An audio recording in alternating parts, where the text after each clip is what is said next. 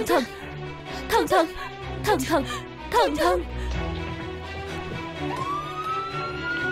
Thần thần. Bác sĩ. Bác sĩ. Bác sĩ. Nhanh lên, Cứu con tôi với. Nhanh, Phòng giải phẫu Tôi sẽ may dám động. Âu Nhan, Tôi nói năm đó, Sao cô lại đi vội vàng như vậy? Quả nhiên là có người khác bên ngoài. Nói nó là con của thằng nào? Âu tiểu thư, Chúc mừng cô. Có thai rồi. Thật sao?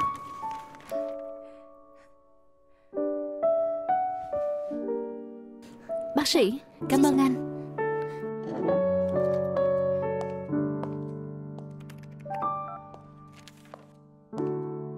Xin lỗi, Số điện thoại quý khách vừa gọi Nằm ngoài dụng phụ sống. Xin quý khách gọi lại sau. Diệp Hy Tối nay anh đến nhà em ăn cơm không? Em có một tin tốt muốn báo cho anh.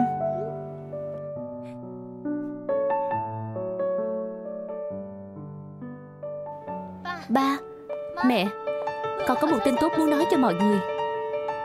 Đây là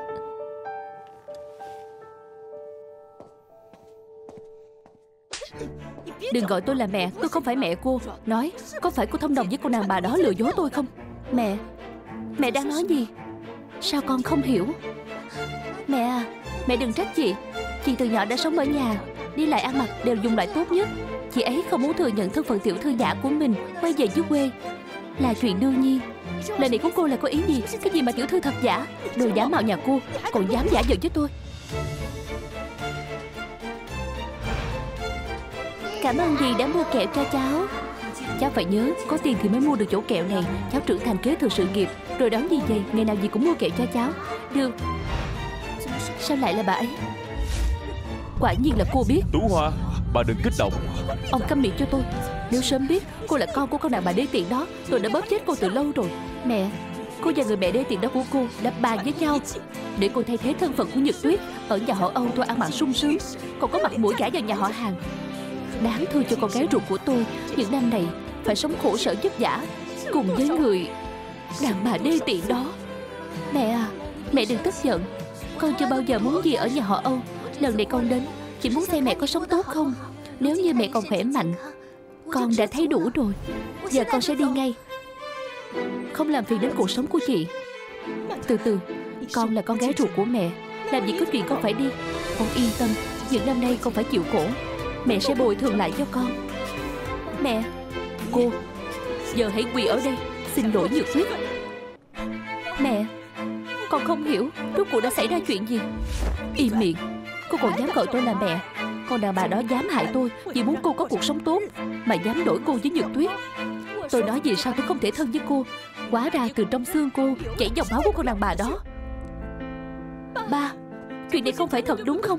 Ba mà nói với con không phải là sự thật đi. Có đúng không ba? Tiểu Nhan Ba xin lỗi con. Ba có lỗi với mọi người. Ba. Tôi đã thông báo với Diệp Hy. Cô lập tức ly hôn với nó, Trả lại tất cả mọi thứ cho Dược Tuyết. Sau đó, quỳ xuống chuộc lỗi. Nói không chừng tôi sẽ cân nhắc. Để cô đến tận hiếu với người mẹ, Thích làm kẻ thứ ba đó của cô. Bà ấy chết rồi.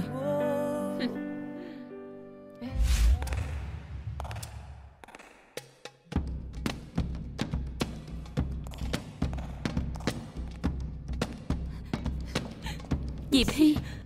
Cô câm đi. Cô đừng kêu tên tôi nữa. Tôi cảm thấy vô cùng buồn nôn.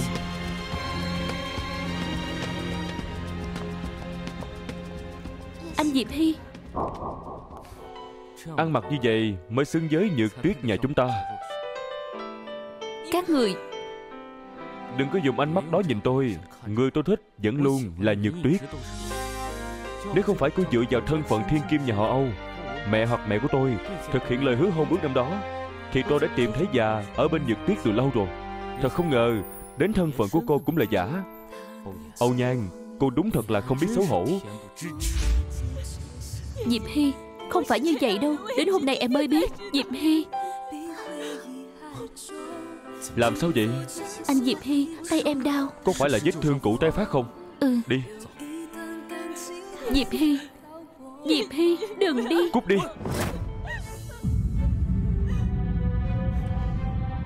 Diệp Hy. Diệp Hy.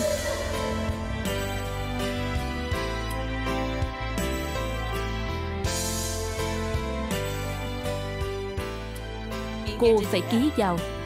Thỏa thuận ly hôn này trước ngày mai. Trả lại hết tất cả mọi thứ thuộc về Nhược Tuyết Cô phải ký vào Thỏa thuận ly hôn này trước ngày mai Trả lại hết tất cả mọi thứ thuộc về Nhược Tuyết. Cô đừng có mà gọi tên tôi. Tôi cảm thấy vô cùng buồn nôn. Vốn dĩ nghĩ rằng con sẽ trở thành bảo bối hạnh phúc nhất trên đời này. Bây giờ xem ra chỉ có một mình mẹ yêu con thôi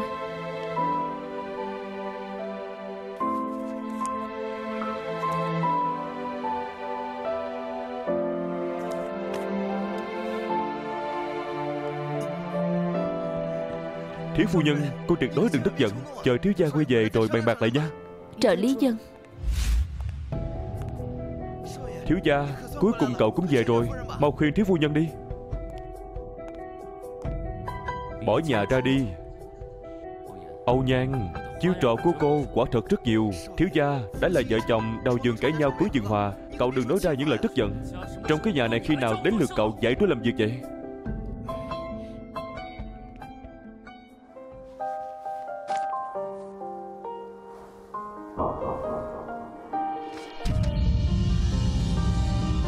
Nhan Cô thực sự rất là giỏi. Nếu như các người đều không muốn nhìn thấy tôi thì đây chính là kết cục tốt nhất. Cô lừa dối tôi nhiều năm như vậy. Giờ mọi chuyện lộ ra thì muốn bỏ đi. Diệp hy thật sự ban đầu tôi cũng không biết chuyện này. Cô còn muốn lừa tôi sao? Âu Nhan Cô thực sự coi hàng Diệp Hy tôi là đồ ngốc sao? Diệp hy anh làm đau tôi. Đau Bây giờ nói đau Vẫn còn sớm lắm. Diệp hy anh làm gì? Diệp hy anh làm gì vậy?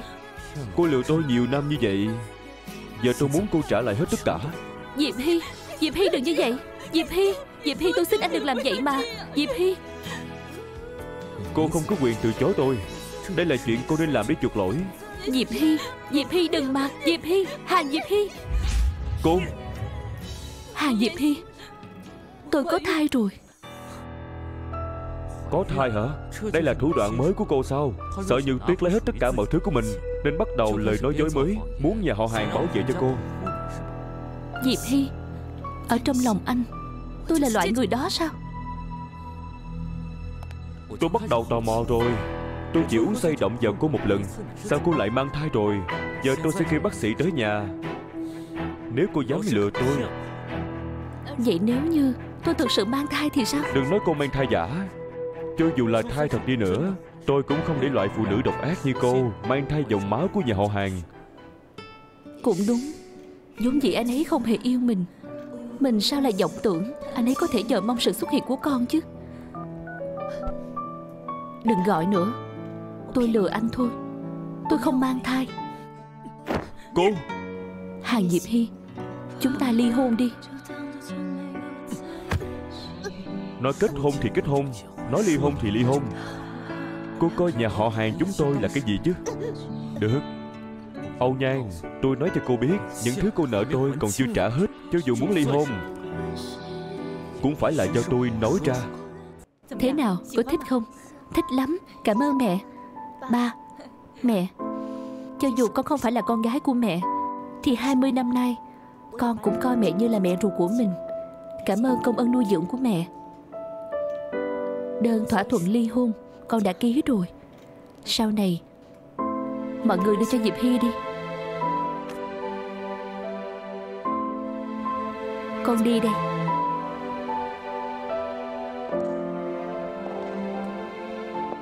Đợi đã. Mở vali ra để tôi kiểm tra xem cô có lấy trộm đồ của tôi không. Tú Hoa Bà đang làm cái gì vậy? Ông câm miệng lại cho tôi đau lòng đúng không? Ông đi mở vali ra cho tôi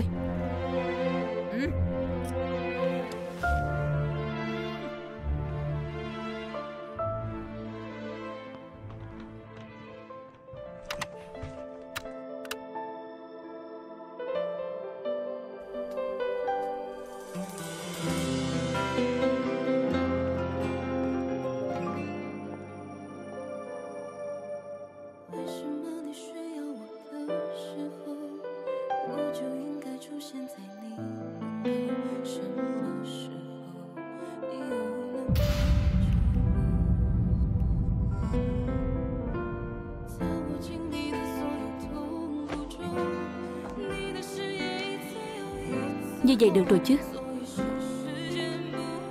Mẹ, Cái vòng cổ đó. Mẹ, Đây là vòng cổ mà mẹ Diệp Hy tặng cho con khi kết hôn. Đây không phải là đồ của nhà họ Âu Buồn cười. Nếu không phải là cô giả mạo thân phận của Nhật Tuyết gả vào nhà họ hàng Thì nhà họ hàng sẽ tặng vòng cổ cho cô sao? Tháo xuống. Mẹ, Tháo xuống.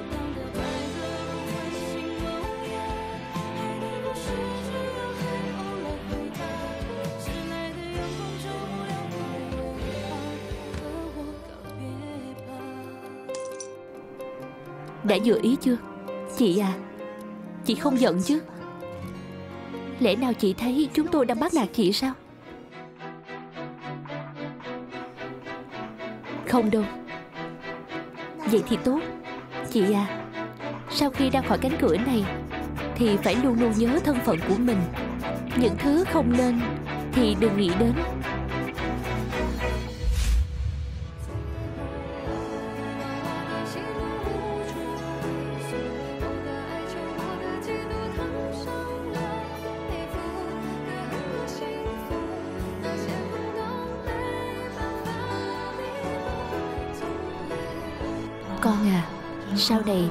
Còn có hai chúng ta thôi.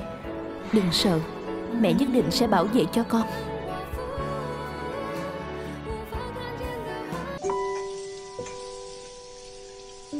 Mẹ ơi Mẹ chơi với con một lát đi. Thần thần Giờ mẹ đang bận Con tự chơi được không? Được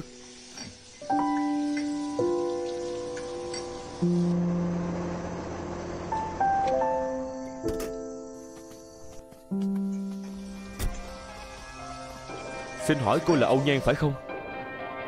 Đúng Là tôi.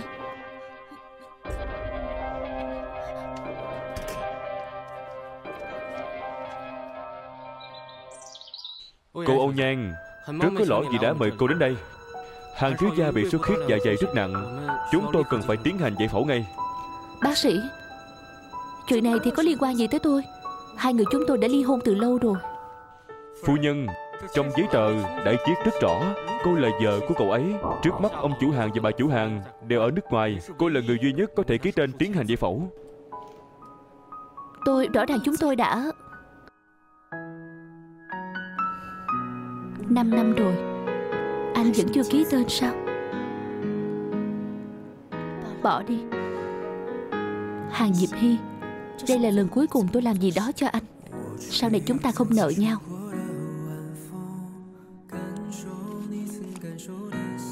Cảm ơn. Cuối cùng cũng tìm thấy cô. Năm năm rồi Âu Nhan Cô đã trốn tôi suốt 5 năm. Diệp Hy Anh Anh không hề bị bệnh. Anh lừa tôi. Đúng Nếu không phải như vậy Thì sao cô lại xuất hiện ở đây được chứ? Vì sao anh lại làm như vậy? Không phải chúng ta đã ly hôn rồi sao Ly hôn sao? Tôi đã đồng ý chưa? Còn chưa chuộc hết tội mà đã muốn chạy. Anh muốn tôi phải làm thế nào? Đưa cô ta đi rút máu đi. Anh muốn làm cái gì? Không làm gì cả. Giúp cô chuộc tội. Tiểu thư Nhật Hàn vì cứu thiếu gia Mà xảy ra tai nạn. Giờ đang nằm trong phòng cấp cứu cần truyền máu gấp Nhưng nhóm máu cô ấy đặc biệt. Trong bệnh viện không có nhóm máu đó. Phu nhân, nhóm máu của cô là RH âm tính Giống hệt với của cô ấy. Cho nên anh lừa tôi đến đây Là để lấy máu cho cô ta. Đồ đế trị nhà cô Có nhóm máu giống hệt với Tuyết Nhi Là vinh hạnh của cô rồi. Hàng Diệp Hy. Âu Nhan 5 năm không gặp. Biết giả vờ đáng thương rồi. Cô chiếm cuộc sống của Tuyết Nhi. Hủy đi hôn nhân của tôi. Tôi chỉ dùng chút máu của cô mà thôi Loại buôn bán này cô đi đâu tìm được? Âu Nhan Con đường chuộc tội của cô Vừa mới bắt đầu thôi. Còn đứng đó làm gì? Phu nhân Cô yên tâm Chúng tôi chỉ đang dùng chút máu mà thôi. Nếu không phải nhóm máu gấu chút đặc thù Cậu hàng cũng không làm ra chuyện này đâu. Nếu như tôi nói Tôi không đồng ý. Cô không có quyền từ chối tôi Nhìn rõ bác sĩ gì rồi Tìm thấy cô ta ở đâu không? Anh muốn làm cái gì? Không làm gì cả. Có người tốt thu nhận vợ của tôi. Tôi phải cảm ơn họ thật tốt mới được. Hỏng rồi. Thần thần vẫn còn ở đó. Nếu như để anh ấy biết sự tồn tại của thần thần. Từ từ. Có phải chỉ cần tôi đồng ý lấy máu cho cô ta Thì anh sẽ buông tha cho tôi không? Được. Tôi đồng ý.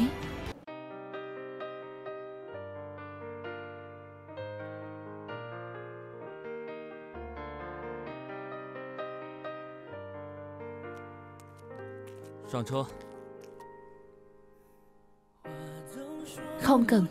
Tôi tự đi về được. Tôi không muốn nói lần hai đâu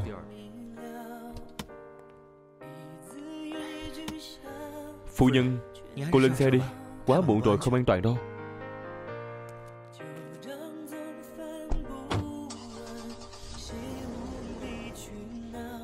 Phu nhân Trên xe có đồ bộ máu Lát nữa cô cầm lấy nha. Không cần đâu. Cầm lấy đi. Cô vừa mới lấy máu xong. Cô đang yếu. Những đồ bộ máu này rất quý giá. Đều do thiếu gia tìm về cho cô. Đảm bảo sau khi cô dùng xong Sẽ tốt hơn rất nhiều. Cậu nói nhiều quá. Vậy được thôi.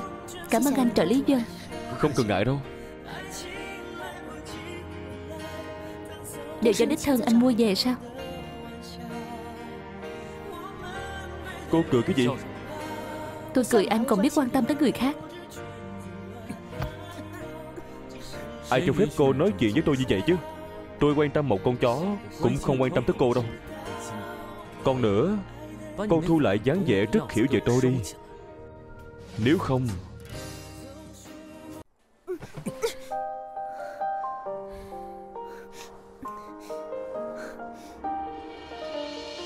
từ từ. Tôi khuyên cô đừng có chạy. Nếu như lại để tôi không tìm thấy người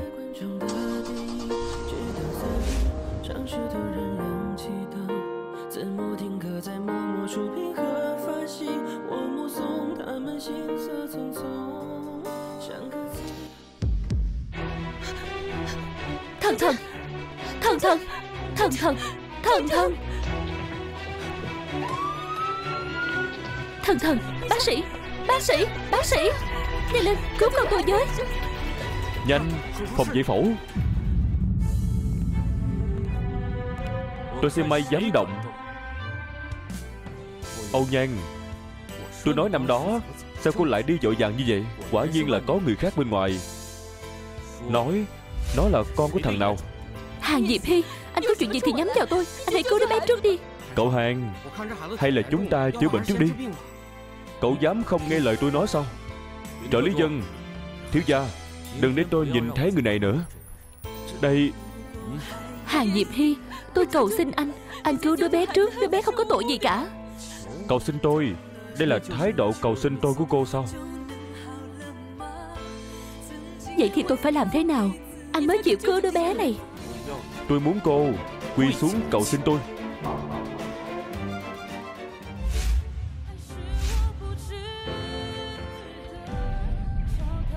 Hàng Diệp Hy Hàng thiếu gia Tôi cầu xin anh Xin anh hãy cứu đứa bé có được không? Tôi đang rất tò mò.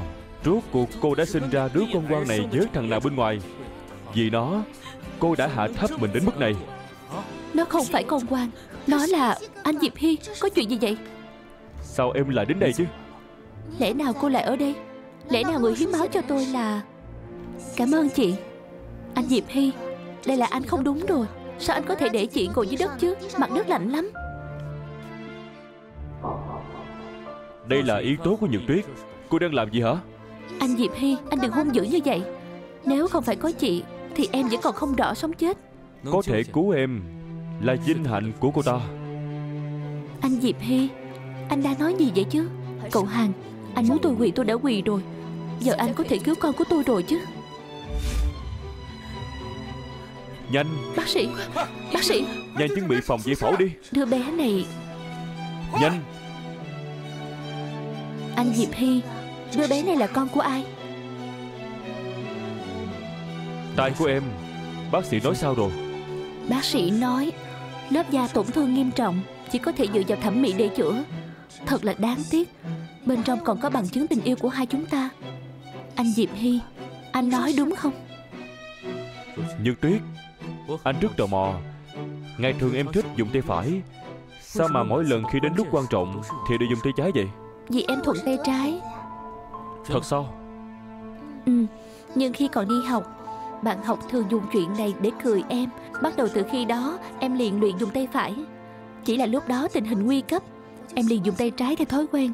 Anh Diệp Hy Làm sao vậy? Không có gì. Em nghỉ ngơi đi. Anh còn chuyện phải làm Anh đi trước đây.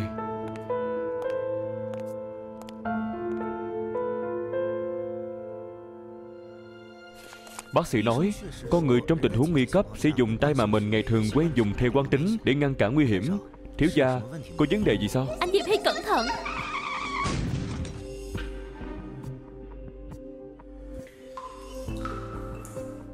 Nhược tuyết Bên phía tài xế nói sao? Tài xế nói là mình uống rượu say Không nhìn rõ xe của chúng ta. Nhưng mà Nói Chúng ta cử người điều tra Tài khoản ngân hàng của tài xế có nhận được 5 triệu. Từ một người có tên là Dương Huy Tôi đã điều tra tất cả Giao dịch trong mấy năm gần đây Đều không có bất cứ liên quan gì đến người tên Dương Huy. Nhưng khi tôi điều tra người nhà của tài xế Phát hiện một chuyện rất kỳ lạ. Là chuyện gì? Dương Huy là người Mai Thành Là đồng hương giới Tiểu thư Nhược Tuyết. Nhưng hàng thiếu gia yên tâm Tôi đã tăng thêm người Nhất định tìm được người tên Dương Huy Nhất định loại bỏ hiềm nghi của Nhược Tuyết. Nhược Tuyết Tốt nhất không phải như những gì mình nghĩ. Nè ăn thêm một miếng. Đứa bé này bị bệnh máu trắng Cần phải làm giải phẫu thay tủy. Bác sĩ Bác sĩ anh hãy nghĩ cách cứu con của tôi với bác sĩ Cô bình tĩnh Chúng tôi đang tìm tủy phù hợp với cậu bé trong kho Hiến tủy của toàn quốc. Chỉ là vẫn cần chuẩn bị 3 triệu. 3 triệu?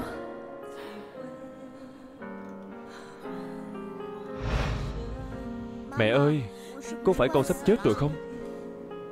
Đứa con ngốc Đang nói linh tinh gì vậy? Bạn học trong nhà trẻ đều nói Chỉ cần mặc bộ quần áo này vào Chính là người sắp chết. Con đừng nghe người khác nói bậy Thần thần Chỉ là hiện giờ thân thể chưa được khỏe Chúng ta chữa trị là được. Thật sao? Thật đó. Thần thần yên tâm Mẹ nhất định sẽ chữa khỏi cho con.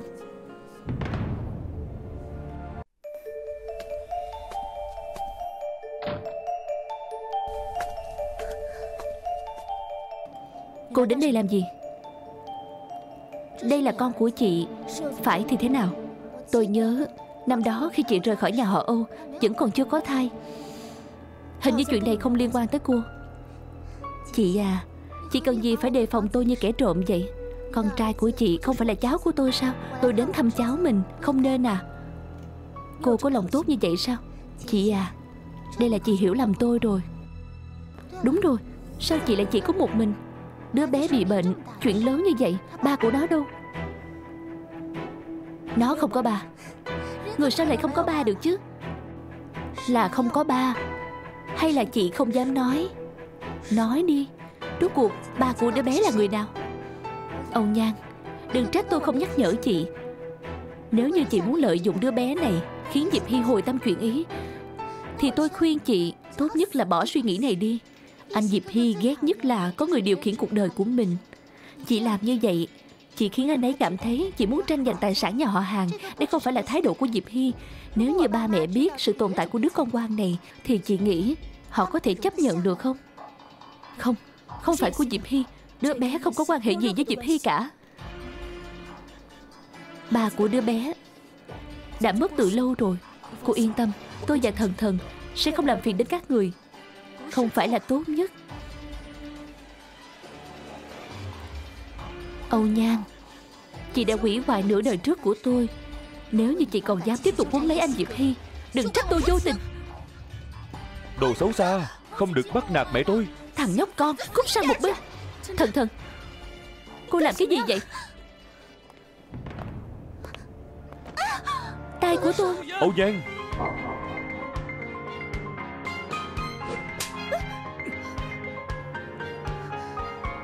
Anh Diệp Hy Cô ấy đánh em. Âu Nhan Cô muốn chết sao? Đồ chứng thối Không được bắt nạt mẹ tôi. Tránh ra. Thần thần Thần thần. Thứ không có giáo dục. Anh muốn làm cái gì? Thay cô dạy dỗ cho tốt Thằng con quan của cô. Tôi nói cho anh biết Anh đừng hòng làm hại thần thần. Bản thân còn không lo nổi Lấy gì bảo vệ nó chứ? Chỉ cần tôi còn sống một ngày Anh đừng hòng đụng vào một sợi tóc của nó. Đứng lên Vì thằng con quan đó Mà cô lại dám nói chuyện với tôi vậy. Cô không muốn để nó tiếp tục ở lại bệnh viện sao Người đâu? Hàng Diệp Hy Hàng Diệp Hy Hàng Diệp Hy anh muốn làm gì? Không có lệnh của tôi. Toàn bộ bệnh viện trong thành phố này Đều không được chữa trị cho thằng nhóc này. Anh muốn làm gì thì cứ nhắm đến tôi. Bắt nạt một đứa bé thì có gì mà giỏi? Nhắm đến cô. Ý hay lắm Vậy cô hãy về nhà họ hàng chịu phạt đi. Tôi sẽ sai người trông coi thật tốt Đứa con quan này của cô. Nếu như cô lại dám chạy trốn Thì đừng trách tôi tổn thương cô. Anh Diệp Hy Có phải chỉ cần tôi nghe theo lời anh nói Thì anh sẽ tha cho chúng tôi không? Ừ. Được. Tôi đồng ý với anh Hy vọng anh nói được làm được. Anh Diệp Hy. Ngoan ngoãn ở trong bệnh viện. Ngày mai anh đến đón em về nhà. Được thôi.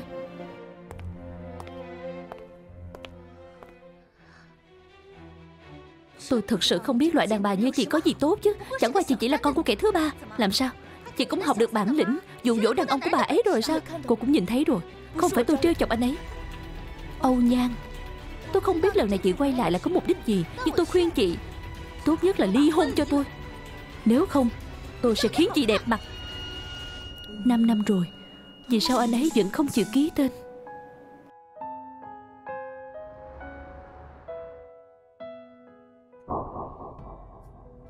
Lại là thỏa thuận ly hôn. Âu Nhan, Tôi phải nói bao nhiêu lần nữa. Muốn ly hôn, Cô không có quyền. Năm năm rồi Diệp Hy. Vì sao anh vẫn cứ cố chấp như vậy? Đừng tưởng rằng cô trốn tôi 5 năm này Thì có thể kết thúc mọi chuyện. Âu Nhan Những thứ cô nợ tôi Cô chưa trả lại cho tôi đâu. Vậy anh muốn thế nào? Mới chịu ly hôn. Sao? Muốn ly hôn với tôi? Là muốn kết hôn với thằng đàn ông đó đúng không Tuổi của thằng con hoang đó cũng không nhỏ Đến trường mầm non còn được. Không có hộ khẩu Không đi học được tiểu học đúng không?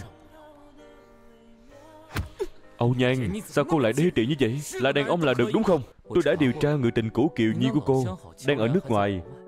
Không phải con của Kiều Nhiên Rốt cuộc là con của ai chứ? Làm sao? Không nói đúng không? Sợ tôi ra tay với thằng đó sao? Âu Nhan Sao cô lại đê tiện như vậy? Là đàn ông là được đúng không Đúng vậy. Cho nên anh không cần thiết phải dây dưa với tôi. Diệp Hy, ly hôn tốt cho cả anh và tôi. Tốt hay không là do tôi quyết. Hiểu chưa? Với thân phận của cô Cô không xứng với nhà họ hàng Nhưng cô lại giả mạo thân phận thiên kim nhà họ Âu. Trong một năm ba tháng này, Cô hưởng thụ lợi ích mà nhà họ hàng đem lại, Hưởng thụ hào quang của thiếu phu nhân họ hàng Hiện giờ Tôi muốn cô phải trả lại bằng hết.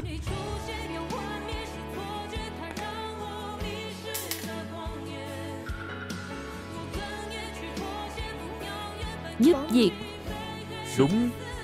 Chỉ cần cô làm Người giúp việc trong một năm ba tháng. Trả lại hết tất cả những gì Cô đã nợ tôi Tôi sẽ thả cô đi. Không được Không thể được. Tôi cần đi tìm việc thần thần bị bệnh rồi Diệp Hy. Âu Nhan Cô bớt đi. Chỉ cần làm người giúp việc đủ một năm là có thể chuộc lại hết tội lỗi của bản thân mình. Đã là lời cho cô lắm rồi. Hay là nói cô muốn chuyển đổi thành tiền mặt thân phận thiếu vui nhân họ hàng, không trễ đâu. Được. Tôi ký.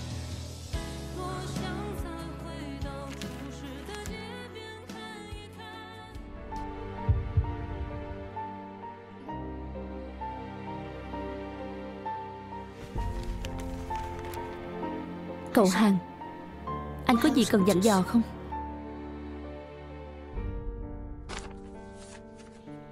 8 giờ sáng mai Cô đến đây đúng giờ. Dạ.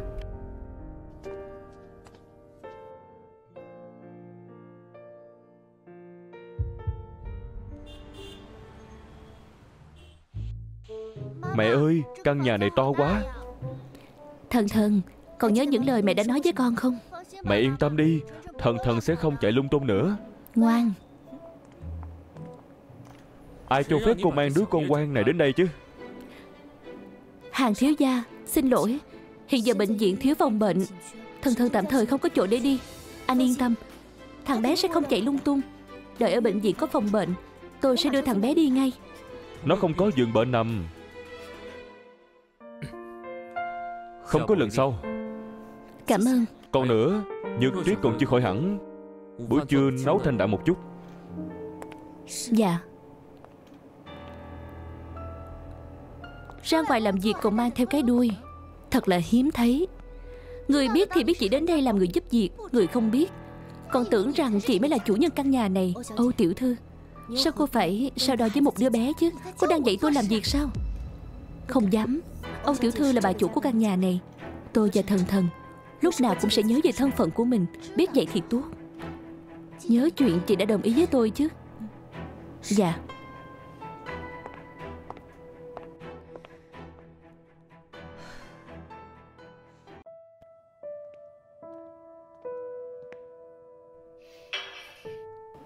Cậu hàng Âu tiểu thư, Mời dùng bữa. Anh Diệp Hy, Ăn nhiều một chút. Nhược tuyết, Anh sẽ không ghét bỏ em. Sau này trước mặt anh, Em có thể thoải mái làm chính mình.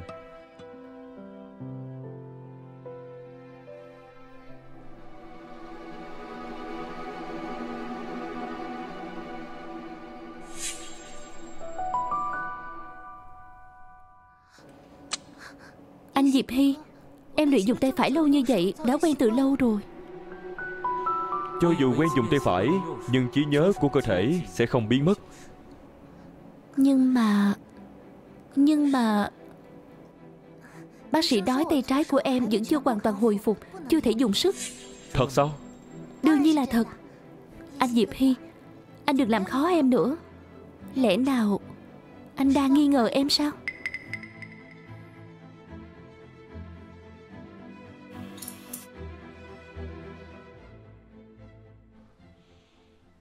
Bệnh viện làm ăn kiểu gì vậy?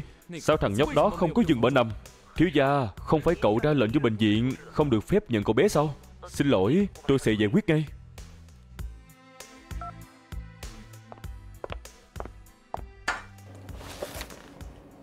Anh Diệp Hy, Âu Nhan và con trai chị ấy sẽ ở lại đây bao lâu? Em không có ý gì khác. Chỉ là Âu Nhan thường xuyên dẫn theo con trai Ra vào nhà họ hàng. Có phải không tốt lắm không? Nếu để người ngoài nhìn thấy Còn tưởng rằng đó là con của anh.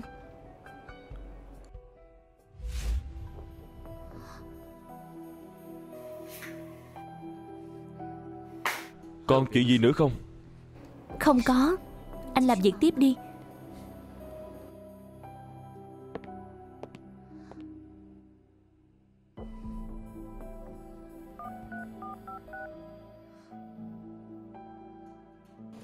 Âu Nhan có một đứa con trai tên Âu Thần Điều tra rõ thân phận của nó cho tôi. Đưa mẹ xem. Để mẹ lau sạch cho con. Thần thần Chúng ta hãy uống hết chỗ thuốc này có được không? Không muốn. Thuốc này đắng lắm. Không ngon. Nhưng mà lần trước khi siêu nhân bị bệnh Cũng uống thuốc là khỏi bệnh liền. Thật sao? Ừ Nếu như con muốn được khỏe mạnh như siêu nhân Thì chúng ta hãy uống thuốc có được không? Dạ Nào há miệng. Uống ngụm nước nào.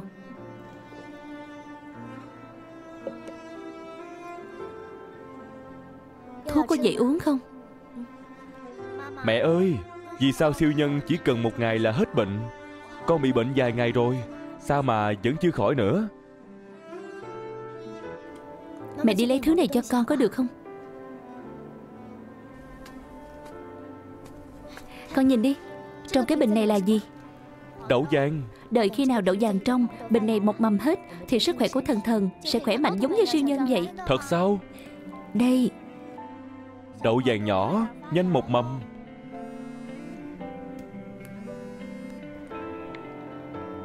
Alo xin chào. Tôi gọi từ bệnh viện Có phòng bệnh rồi.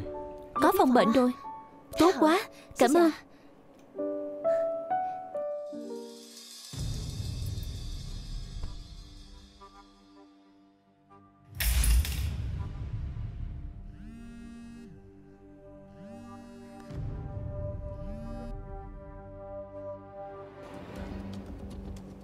Anh nói cái gì?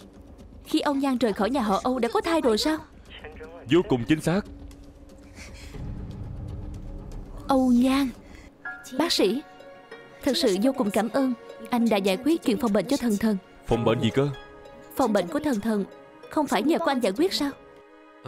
Bỏ đi Nếu cô đã đến rồi Tôi có một chuyện muốn nói với cô Kết quả kiểm tra máu của thần thần Không được tốt lắm. Chỉ uống thuốc thì không còn cách nào Khống chế được tế bào phát triển. Bác sĩ Bác sĩ Anh nhất định phải nghĩ cách cứu thằng bé. Nó chỉ mới 5 tuổi Nó vẫn chỉ là một đứa bé. Cô hãy nhanh chóng chuẩn bị tiền. Hiện giờ ngoại trừ giải phẫu Thì không còn cách nào nữa rồi. Được Tôi đi chuẩn bị tiền. Cảm ơn bác sĩ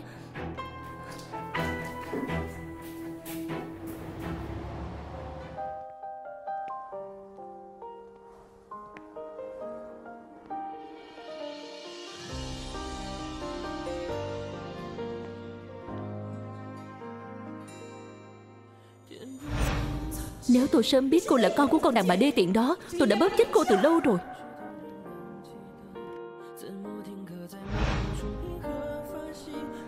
Dì thần thần Thử một lần. Lão gia, phu nhân Đại tiểu thư về. À không đúng, ông nhàn tiểu thư quay về rồi. Ông nhan về rồi Còn không ma mời con bé vào đi. Dạ. Mẹ ơi, đợi đã.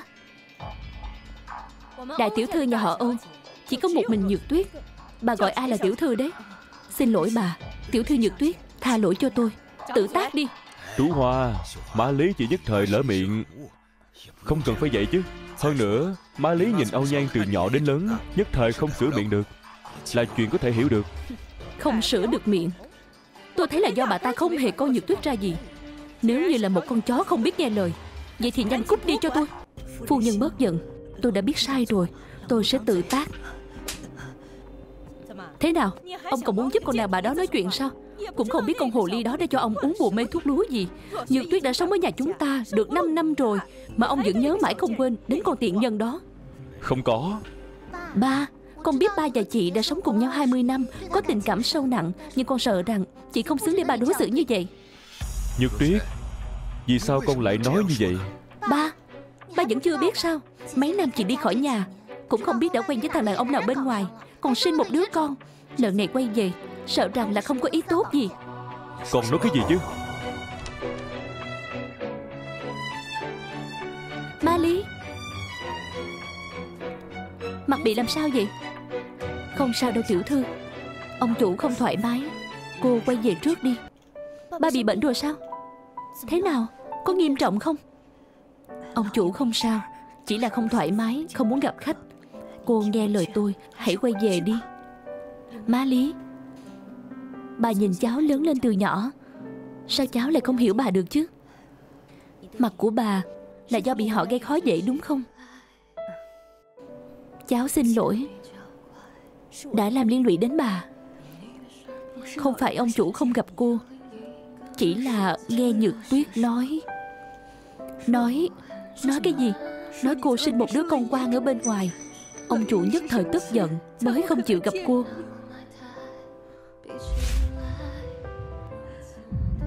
Cô, cô làm gì vậy? Má Lý Nếu không phải không còn đường nào để đi Cháu sẽ không làm đến mức độ này. Bà hãy nói với ba Gặp cháu một lần thôi.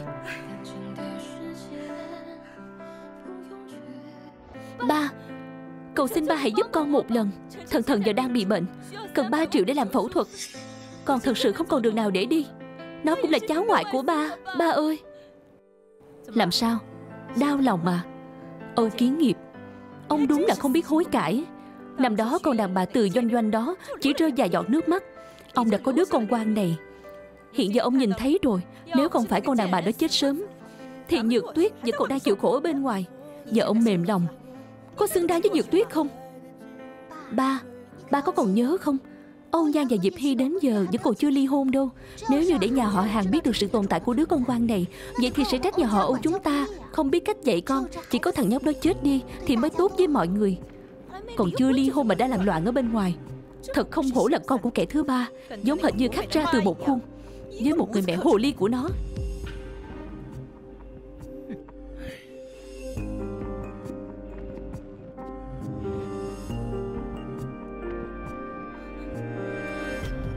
Má Lý.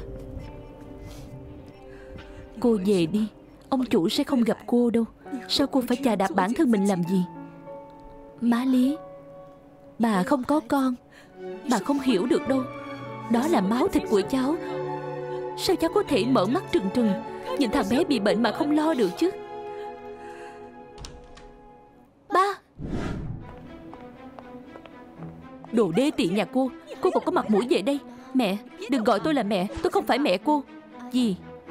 Cháu tìm ba cháu, Đổi giọng cũng nhanh thật đấy. Mẹ, Tốt xấu gì mẹ cũng coi chị ta dơ con mà nuôi dưỡng nhiều năm, Không ngờ chị ta trở mặt không nhận người. Thật đúng là đồ bạc bẽo. Đồ ăn cây táo, rào cây sung, Tôi đã dạy cô như thế sao? Nếu như người mẹ đê tiện đó của cô chết sớm, Vậy thì tôi sẽ dạy dỗ cô thay cho cô ta. Phụ nhân không được đâu, không được đâu, Dừng tay đi mà. Chủ nhân nói chuyện, Làm gì có chuyện người làm xen vào. Má Lý Má Lý. Lẽ nào bà vẫn chưa bị dạy dỗ đủ đúng không? Má Lý, Không sao. Mẹ, Nếu như mẹ đồng ý để con gọi mẹ một tiếng mẹ, Con cầu xin mẹ Có thể cho con mượn tiền được không? Con chỉ mượn 3 triệu 3 triệu là có thể cứu mạng của thần thần rồi. Mẹ, Ai cho cô mặt mũi đó hả? Còn dám tìm tôi đòi tiền. Đồ không biết xấu hổ nhà cô, Làm mất hết mặt mũi của nhà họ Âu chúng tôi.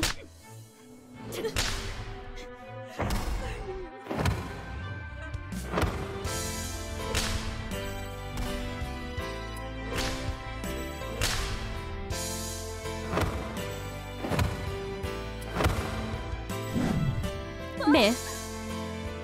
Chỉ cần mẹ đồng ý cho con mượn tiền, Cho dù mẹ đánh chết con cũng không sao hết.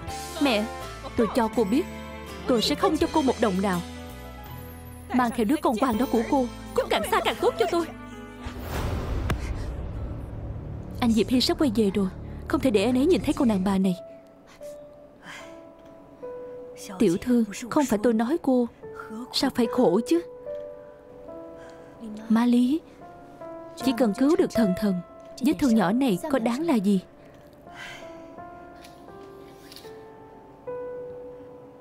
Đây là tiền tôi tích góp được nhiều năm, Cũng không bao nhiêu. Giúp cô được chút nào thì hay chút đó, Ma Lý, không được đâu. Cô khách sáo gì với tôi chứ? Bao nhiêu năm nay, tôi đã xem cô như con của mình từ rất lâu rồi. Cô nói với tôi đứa bé bị bệnh nặng.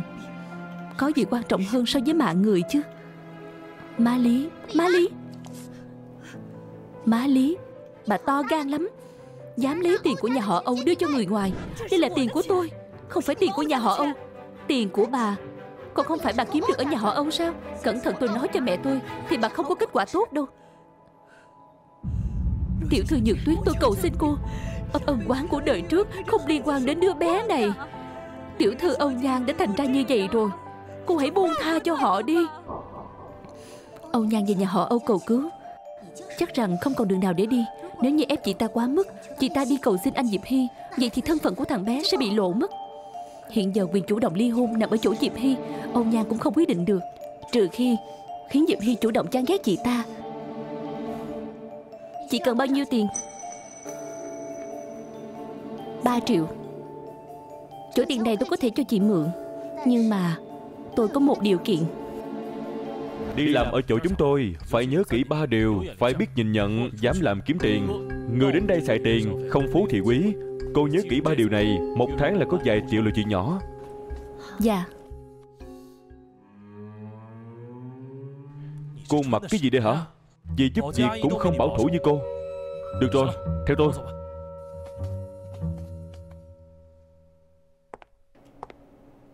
Giám đốc Ngô Thay xong rồi Cô kém thẩm mỹ quá. Chọn nửa ngày lại chọn bộ này. Những cái váy đó lộ quá. Tay của tôi không tiện lộ ra. Được thôi Nói không chừng Có khách hàng thích loại như cô. Đi thôi. Là nơi này Tối nay có thể kiếm được bao nhiêu tiền Thì đều dựa vào cô. Dạ Cảm ơn giám đốc Ngô.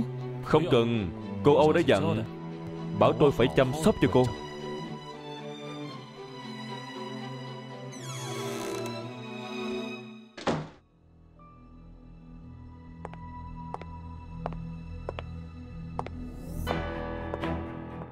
Thiên thượng nhân gian này quả nhiên danh bất hư truyền. Các cô gái người nào cũng xinh đẹp.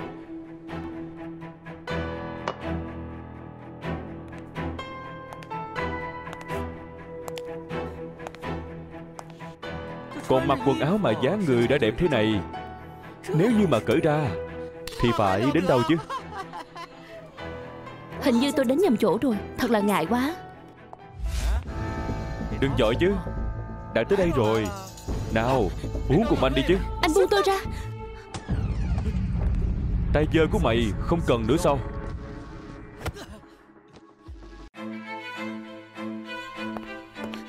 Đi. Buông tôi ra. Anh làm cái gì? Buông ra. Qua đây. Anh làm cái gì vậy? Tôi làm cái gì? Cô có biết mình đang làm cái gì không hả? Nếu tôi không nhìn thấy Tôi không dám tin. Lời Nhật Tuyết nói là thiệt. Ba triệu này đối với tôi mà nói Chỉ là chuyện dễ dàng như trở bàn tay. Nhưng với chị mà nói Thì cả đời cũng không trả nổi. Cho người con cá Không bằng cho người cần câu. Tôi đã tìm công việc cho chị xong rồi. Không cần cảm ơn. Hóa ra là như vậy. Âu Nhật Tuyết Cô đã tính toán hết mọi thứ. Chỉ đợi tôi nhảy vào. Chỉ vì tiền. Mà cô lại tự dạy dò bản thân đến mức này rồi. Phải thì thế nào Đúng như hàng thiếu gia nói Tôi rất thiếu tiền. Vì tiền Chuyện gì tôi cũng có thể làm. Cô biết nơi này chính là đâu không? Đương nhiên là tôi biết. Không phải là nơi khách hàng bỏ tiền Mua sự phục vụ của tôi sao? Nếu như hàng thiếu gia có thể tiêu tiền Tôi cũng có thể phục vụ cho anh. Âu Nhan Cô biết mình đang nói cái gì không? Xem ra Hàng thiếu gia không muốn. Không muốn thì thôi. Tôi cũng không cưỡng ép. Cô đừng hối hận.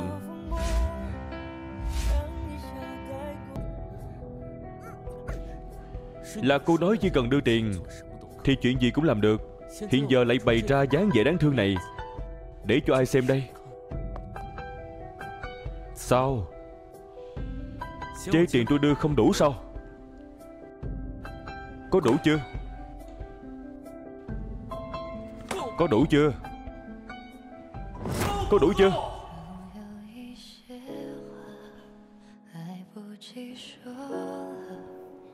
Đủ rồi. Hàng thiếu gia Chúc anh chơi vui vẻ. Âu Nhan Cô đúng là hạ tiện.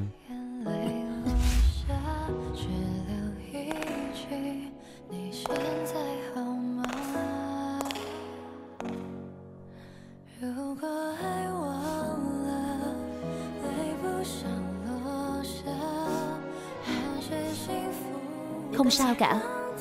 Thần thần, Rất nhanh, mẹ có thể có đủ tiền chữa bệnh cho con.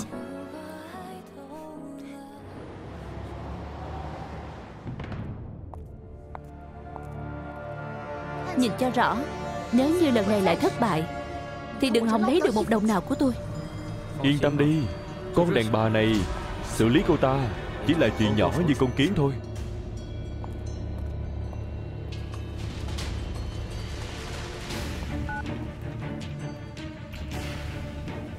Anh Diệp Hy Em mơ thấy ác mộng. Bọn họ là người xấu, Còn cầm theo dao thật đáng sợ. Anh có thể đến ở cùng em không?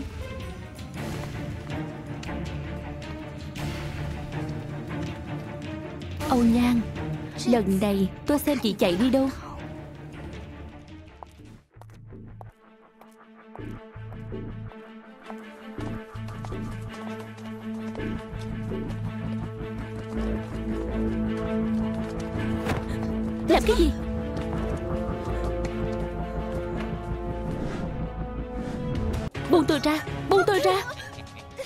Nhà cô. Chạy nữa đi. Tôi nói các người biết Các người còn không thả tôi ra Tôi sẽ báo cảnh sát. Cảnh sát hả? Ê được. Cô là người có tiền nha. Trả lại cho tôi. Tính tình nóng quá. Xem ra không cho cô biết mùi Thì cô sẽ không nghe lời. Đánh đi. Đánh đi. Đánh chết của ta đi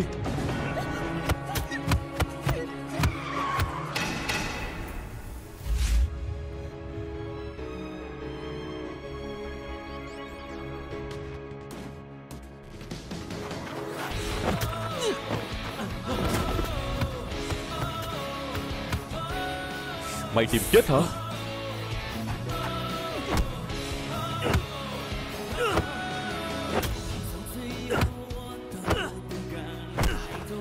Thiếu gia Tránh ra Coi chừng thiếu gia giết người.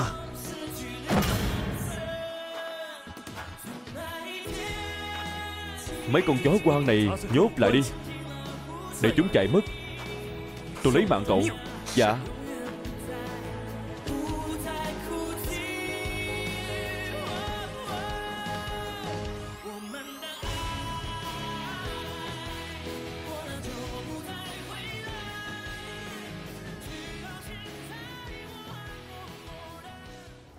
Sĩ Kiều, đây chính là khoa cấp cứu. Anh vừa đến, nếu có gì không quen thì nói cho tôi biết. Được. Cảm ơn. Dừng một chút. Bác sĩ. Bác sĩ. Bác sĩ. Bác sĩ.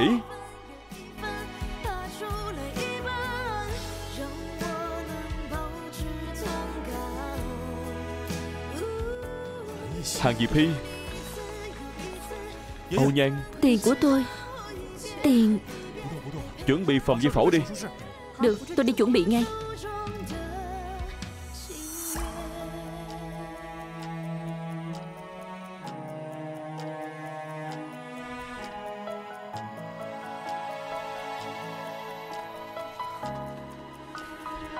Trong chừng kỹ đi Tôi tới ngay.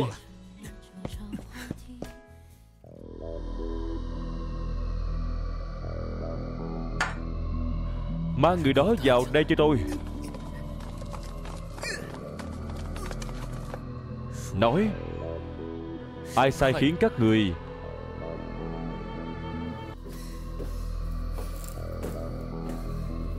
Giải thích rõ ràng đầu đuôi đi. Nói, Ai sai khiến các ngươi? Động vào phu nhân nhà họ hàng. Tôi thấy các người chán sống rồi.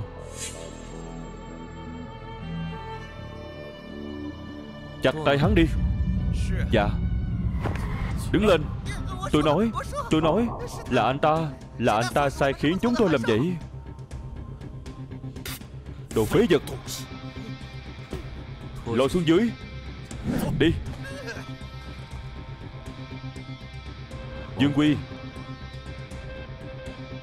Tò mò gì sao? Tao biết mày sao. Làm chuyện không làm sạch sẽ. Nếu đã có sơ hở nằm trong tay tao thì đừng hòng sống sót ra ngoài Nói, Mày và Nhật Tuyết là quan hệ gì? Chuyện lần này có liên quan tới Nhật Tuyết không? Đừng nhiều lời. Hôm nay rơi vào tay các người. Muốn chỉ muốn giết tuyệt các người. Con chó trung thành. Xem lát nữa mày còn có thể cứng miệng thế này không?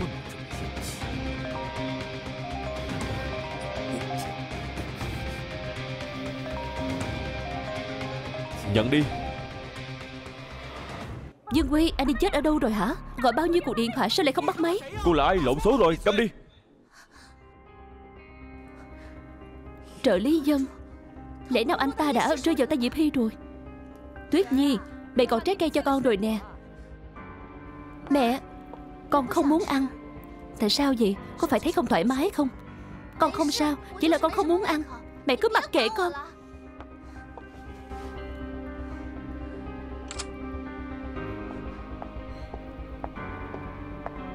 Vậy thì cũng nên ăn chút trái cây rồi nghỉ ngơi. Đây là mẹ đặc biệt chuẩn bị cho con. Đây, để mẹ đút. Con đã nói không muốn ăn rồi mà. Mẹ để mặt con có được không? Con gái ngoan. Đã xảy ra chuyện gì? Mẹ, Làm sao đây? Con xong rồi.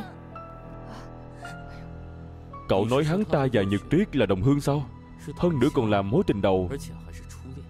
Vẫn luôn giữ liên lạc với nhau. Dạ Đúng vậy. Thằng khốn nạn này. Thiếu gia đang hỏi không tới lượt mày xen vào. Mùng 8 tháng này, Mày đã chuyển 5 triệu cho tài xế tên Chu Bằng. Nói, vì sao lại chuyển tiền cho hắn? Tao thích vậy, Mày quản được chắc. Có nói không? Có bản lĩnh thì đánh chết tao đi. Muốn chết, Không dễ như vậy đâu. Thiếu gia, Nhốt hắn vào trong mật thất. Tôi phải cho hắn mở miệng. Dạ Đứng lên. Xem ra không thể giữ lại người tên Dương Quy đó. Mẹ ơi, Yên tâm. Chuyện này giao cho mẹ xử lý. Nếu như Diệp Hy hỏi đến, Con hãy xem như không biết. Nhưng mà, Âu Nhược Tuyết, Con phấn chấn lên. Con là con gái của mẹ. Con đừng vô dụng giống như con nhóc Âu Nhan đó.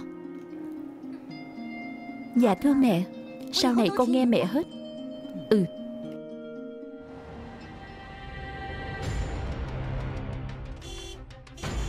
Là ai?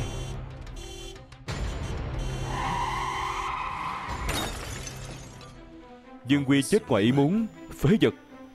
Thiếu gia bớt giận, Tài xế lần này hình như không cố tình gây tai nạn, Cũng không uống rượu. Hình như thật sự ngoài ý muốn. Làm gì có nhiều chuyện ngoài ý muốn như vậy? Tôi thấy là các người vô dụng.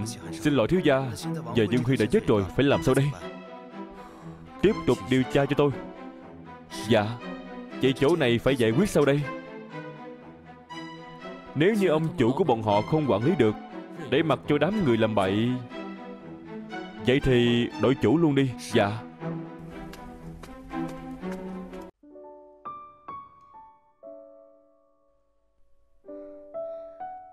Cuối cùng cô cũng tỉnh.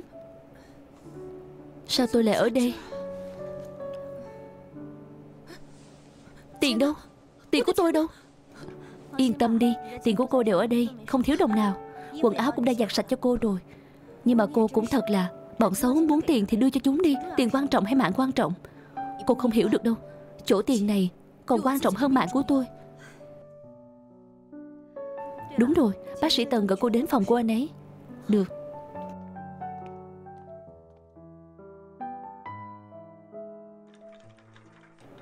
Bác sĩ Tần Tôi đang cố gắng gom tiền rồi.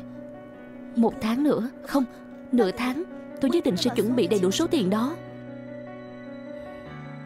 Hiện giờ tiền không phải vấn đề. Quan trọng là chúng tôi không tìm được người hiến tủy thích hợp với thần thần Trong kho tủy toàn quốc. Là vấn đề nhóm máu sao? Không phải Tôi nhớ thần thần nhóm máu B.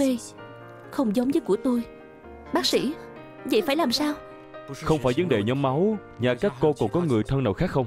Để người nhà đến thử xem có phù hợp không. Nếu không Cho dù cô chuẩn bị đủ tiền Sợ thằng nhóc sẽ không chịu được nữa. Để tôi nghĩ cách Bác sĩ Cảm ơn.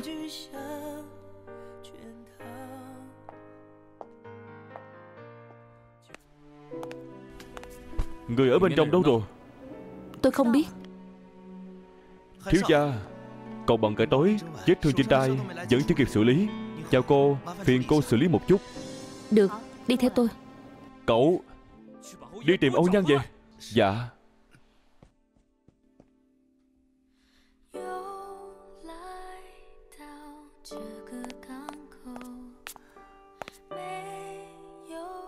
Đứa nhỏ vẫn còn đây, Cô ta cũng không dám chạy. Thiếu gia, không tìm thấy.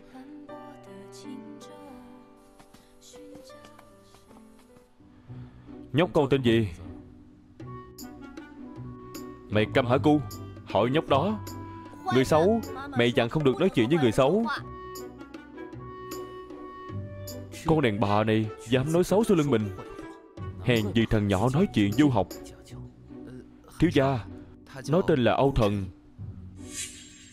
Âu Thần? Theo họ của mẹ nhóc.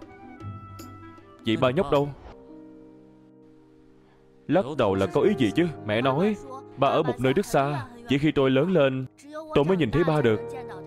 Ồ, Ra nước ngoài rồi. Thiếu gia, Lời của cậu bé, Sợ rằng không phải ý đó. Mẹ nhóc đâu? Sao cứ một mình hoài vậy? Con đàn bà này trông con kiểu gì không biết nữa.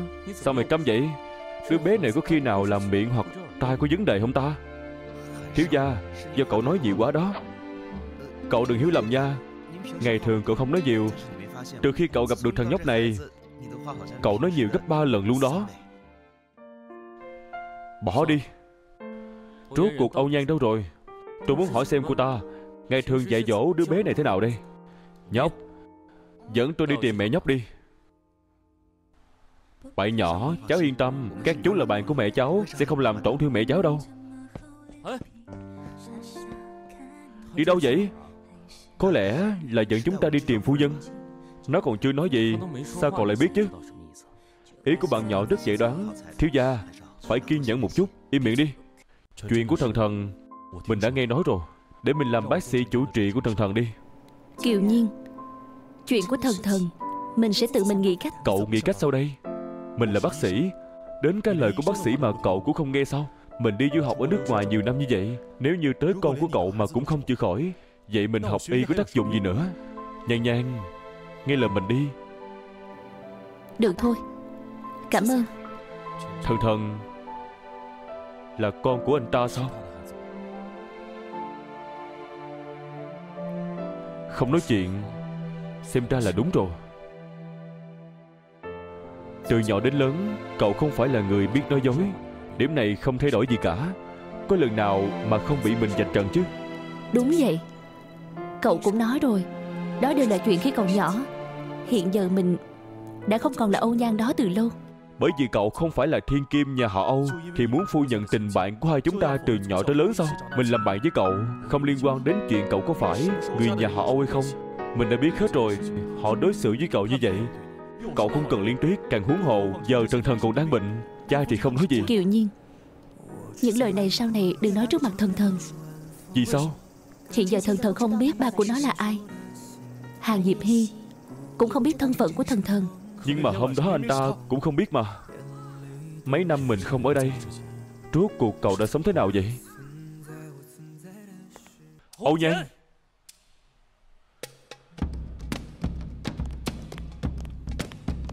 Đi Hàng Diệp Phi Anh làm cái gì Buông ra? Nhan Nhan Đúng thật là vô cùng thân mật nhỉ. Buông tôi ra. Đồ lừa đảo Ông không phải là bạn của mẹ tôi Đồ trứng thúi Tránh xa mẹ tôi ra. Đúng Tôi không phải là bạn của mẹ nhóc. Tôi là chồng của mẹ nhóc. Biết chồng là có ý gì không? Thằng con quan Cút đi. Thần thần Diệp Hy Sao phải làm khổ một đứa bé? Anh cũng biết nói là Nhiên Đây là chuyện giữa hai người tụi mình. Cậu đừng xen vào. Nhưng mà Yên tâm. Mình không sao. Chăm sóc thần thần thay cho mình. Đúng thật là Một nhà ba người hạnh phúc nhỉ? Hàng Diệp Hy Anh nói gì chứ? Mới vậy mà đã dội vàng bảo vệ nhau sao? Cô dám nói đứa bé này Không phải là của Kiều Nhiên Chỉ đáng tiếc Chỉ cần một ngày tôi không rời đi Thì nó vĩnh viễn là Thằng con quan không có hộ khẩu. Nhìn như vậy Có vẻ không sống được mấy ngày nữa đâu. Đây chính là báo ứng của đôi cậu nam nữ các người. Hàng Diệp Hy Sáu năm trước tôi đã nói với cậu Cách xa Âu Nhan ra Một đấm này là để dạy dỗ cậu. Nhớ mong người không nên nhớ mong. Anh hạn chế tự do của cô ấy Lại không đối xử tốt với cô ấy. Hàng Diệp Hy Anh không xứng làm đàn ông. Kiều Nhiên Bỏ đi. Nhà họ Kiều không biết cách dạy con Ăn nói hỗn láo. Một cước này Diệp Hy. là tôi thay mặt nhà họ Kiều của cậu Dạy dỗ cho cậu. Buông nhân nhân ra. Nếu như tôi không buông ra Cậu có thể làm gì tôi chứ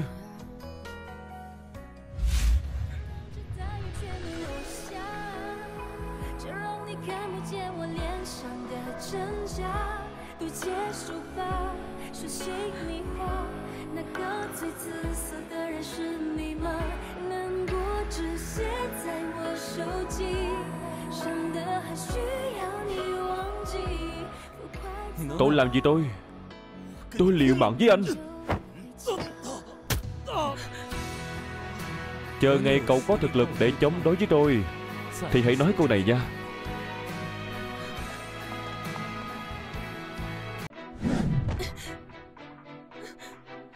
Dám ngoại tình với đàn ông ngay trước mặt tôi, Rốt cuộc kiều duyên đó có chỗ nào tốt hơn tôi Mà khiến cô đối khắc như vậy?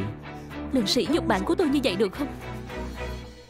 Bạn cô Vậy thì tôi thiệt tò mò Hôn môi với bạn có cảm giác thế nào đây? Kỹ thuật hôn của tôi với cậu ta Ai càng tốt hơn?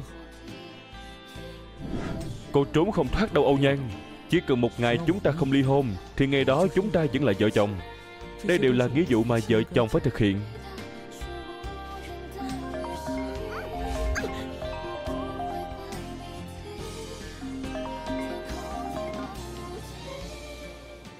Anh Diệp Hy. Mẹ nói buổi tối muốn mời anh cùng ăn cơm. Tốt quá rồi, Vậy em sẽ gửi vị trí cho anh. Không gặp không về. Thế nào rồi? Đã đồng ý. Ngữ điệu nói chuyện với con thì sao? Không khác gì so với trước đây. Mẹ ơi, Có lẽ là chúng ta nghĩ nhiều rồi. Có lẽ Dương Huy chưa hề nói gì cả. Mong là vậy. Tuy rằng Dương Nguyên chết rồi nhưng trong lòng mẹ thấy rất quan mang. Tối nay thử xem cậu ấy phản ứng thế nào. Dạ. Tôi có chuyện ra ngoài. Cô ở chung nhà cho tôi. Tôi quay về mà không thấy cô. Tôi phải ra ngoài đi làm. Tôi không muốn nói lần hai. Không muốn tôi ra ngoài đi làm cũng được. Cho tôi 3 triệu bao nuôi tôi. 3 triệu? Cô xứng đáng sao?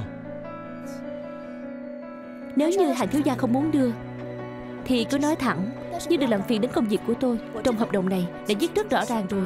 Thời gian buổi tối Thuộc về bản thân tôi. Âu Nhan Cô đừng khiêu chiến sự nhẫn nại của tôi.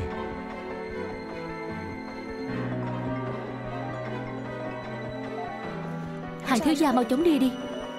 Đừng để người đẹp đợi lâu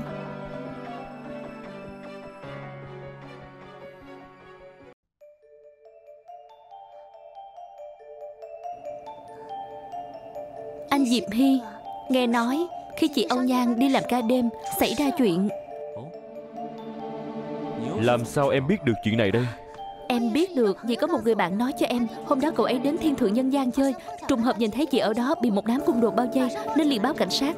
Nhưng khi ra ngoài phát hiện không thấy ai cả. Anh có biết chuyện này không? Anh nên biết chuyện này sao? Nhược tuyết Không phải mẹ nói con chứ Khó khăn lắm mới gặp được Diệp Hy. Còn nhắc đến đồ sao chổi đó làm cái gì? Diệp Hy à Con đừng trách Nhược tuyết. Nhược tuyết có tấm lòng lương thiện. Vừa nghe thấy Âu Nhan có chuyện Thì liền lo lắng hơn bất cứ ai. Nói gì thì nói Âu Nhan cũng là do bác nuôi lớn Nói không quan tâm là giả đúng không? Nếu bác gái thực sự quan tâm đến cô ấy Có thể tự mình đi thăm cô ấy. Ý cháu là nó không sao. Chị không sao thật là tốt quá Có lẽ là người bạn đó của em đã nhìn nhầm. Tay em khỏi rồi sao? Bác sĩ nói có thể dùng sức như bình thường rồi. Nếu anh Diệp Hy đã nói Em không cần phải giả vờ trước mặt anh Vậy sau này em sẽ dùng tay trái. Nhược tuyết Anh nhớ khi em còn nhỏ Trên tay có một vết sẹo. Sao anh không thấy chứ? Anh nhớ khi em còn nhỏ Trên tay có một vết sẹo. Sao anh không thấy chứ? Diệp Hy à Có phải cháu nhớ nhầm không?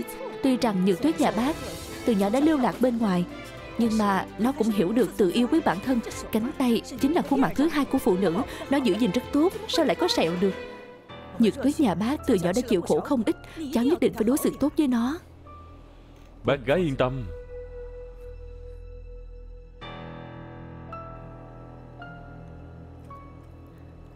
Từ nhỏ Âu Nhan đã được mẹ yêu chiều Như con gái ruột của mình Sao mẹ lại để cho nó có sẹo được? Mẹ, May mà hôm nay có mẹ. Nếu không, con đã bị bại lộ rồi. Đừng vui mừng sớm quá. Diệp Hy đang thử con. Có nghĩa là nó đã bắt đầu nghi ngờ con. Chuyện này phải làm sao? Đồ Âu Nhan âm hồn bất tán đó. Sao chị ta không chết đi? Bình tĩnh lại. Kẻ địch còn chưa làm gì, Mà con đã tự loạn trưởng tuyến rồi. Sao con lại vô dụng vậy? Mẹ à Con yên tâm đi. Giờ cậu ấy chỉ nghi ngờ. Trước mắt chưa có chứng cứ. Chuyện con cần làm hiện giờ Chính là trước khi cậu ấy tìm được chứng cứ. Nhanh chóng giải quyết xong chuyện kết hôn. Nhưng mà cũng phải nói, Đã 5 năm rồi, Sao cậu ấy vẫn chưa ký thỏa thuận ly hôn? Con làm cái gì vậy hả? Những cách nên dùng con đã dùng hết rồi, Nhưng mà Diệp Hy không chịu ký tên. Mẹ nói xem, có khi nào ôn Nhan sẽ đứng ra và trần con không? Miệng là của chị ta, Con không quản được chị ta. Vậy thì khiến cho lời cô ta nói, Không ai tin. Đồ xấu xa. Các người không buông mẹ tôi ra. Các người đều là người xấu. Mau buông ra.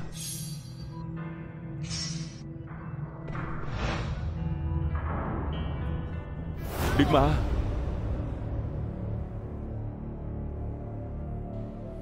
Nhật Tuyết, Là do tôi đã nghĩ nhiều rồi sao?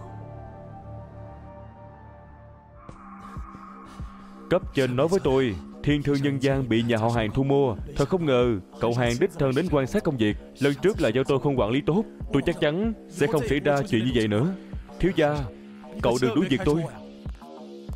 Đừng nhiều lời, Gọi tất cả mọi người đến đây tập hợp đi. Dạ dạ. Cậu hàng Lệ mề cái gì chứ? Qua đây.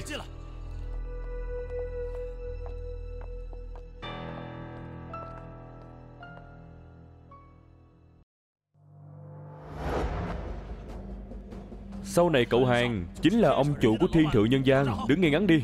Chào hỏi cậu hàng đi. Chào cậu hàng. Chào cậu hàng. Cậu hàng Cậu có gì muốn dặn dò? Ra ngoài làm việc đi. Cô ở lại. Vì sao lại giữ cô ta ở lại?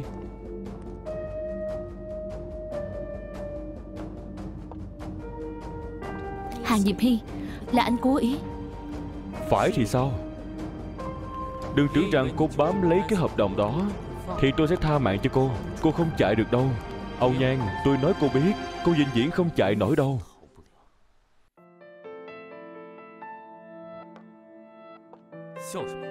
Lẽ nào hàng thiếu gia có ý với tôi? Nên cố ý mua lại thiên thượng nhân gian. Muốn thời thời khắc khắc. Đều ở cạnh tôi chứ gì. Ai cho cô lá gan? Tự mình đa tình trước mặt tôi. Nếu không anh mua lại nơi này để làm gì chứ? Đương nhiên là vì có nhiều thời gian Để dạy dò cô hơn Cho người giàu đây, Không phải cô thích bán đứng thân thể để kiếm tiền sao? Hôm nay tôi sẽ để cô kiếm đủ.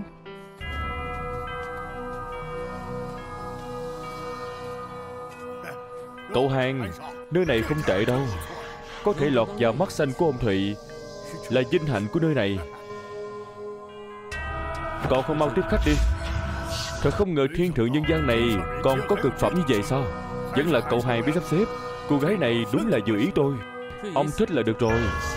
Cô gái này tối nay là của ông. Chăm sóc ông Thụy cho tốt nha. Sẽ có thưởng lớn. Ông Thụy Nào. Đây Tôi mời ông một ly. Không tồi, sảng khoái Tôi quả nhiên không nhìn nhầm người. Được rồi ông Thụy Chúng ta cùng uống. Nào uống tiếp đi. Uống nào.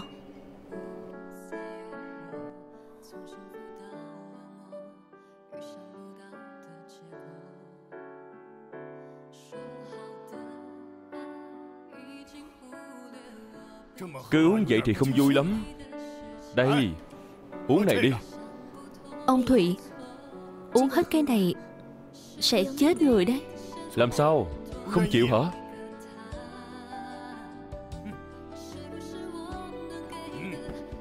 Ông Thụy Tôi không có ý này. Vậy cô có ý gì? Làm kỹ nữ mà còn lập đại gì? Có phải là chơi tiền không đủ? Có đủ không?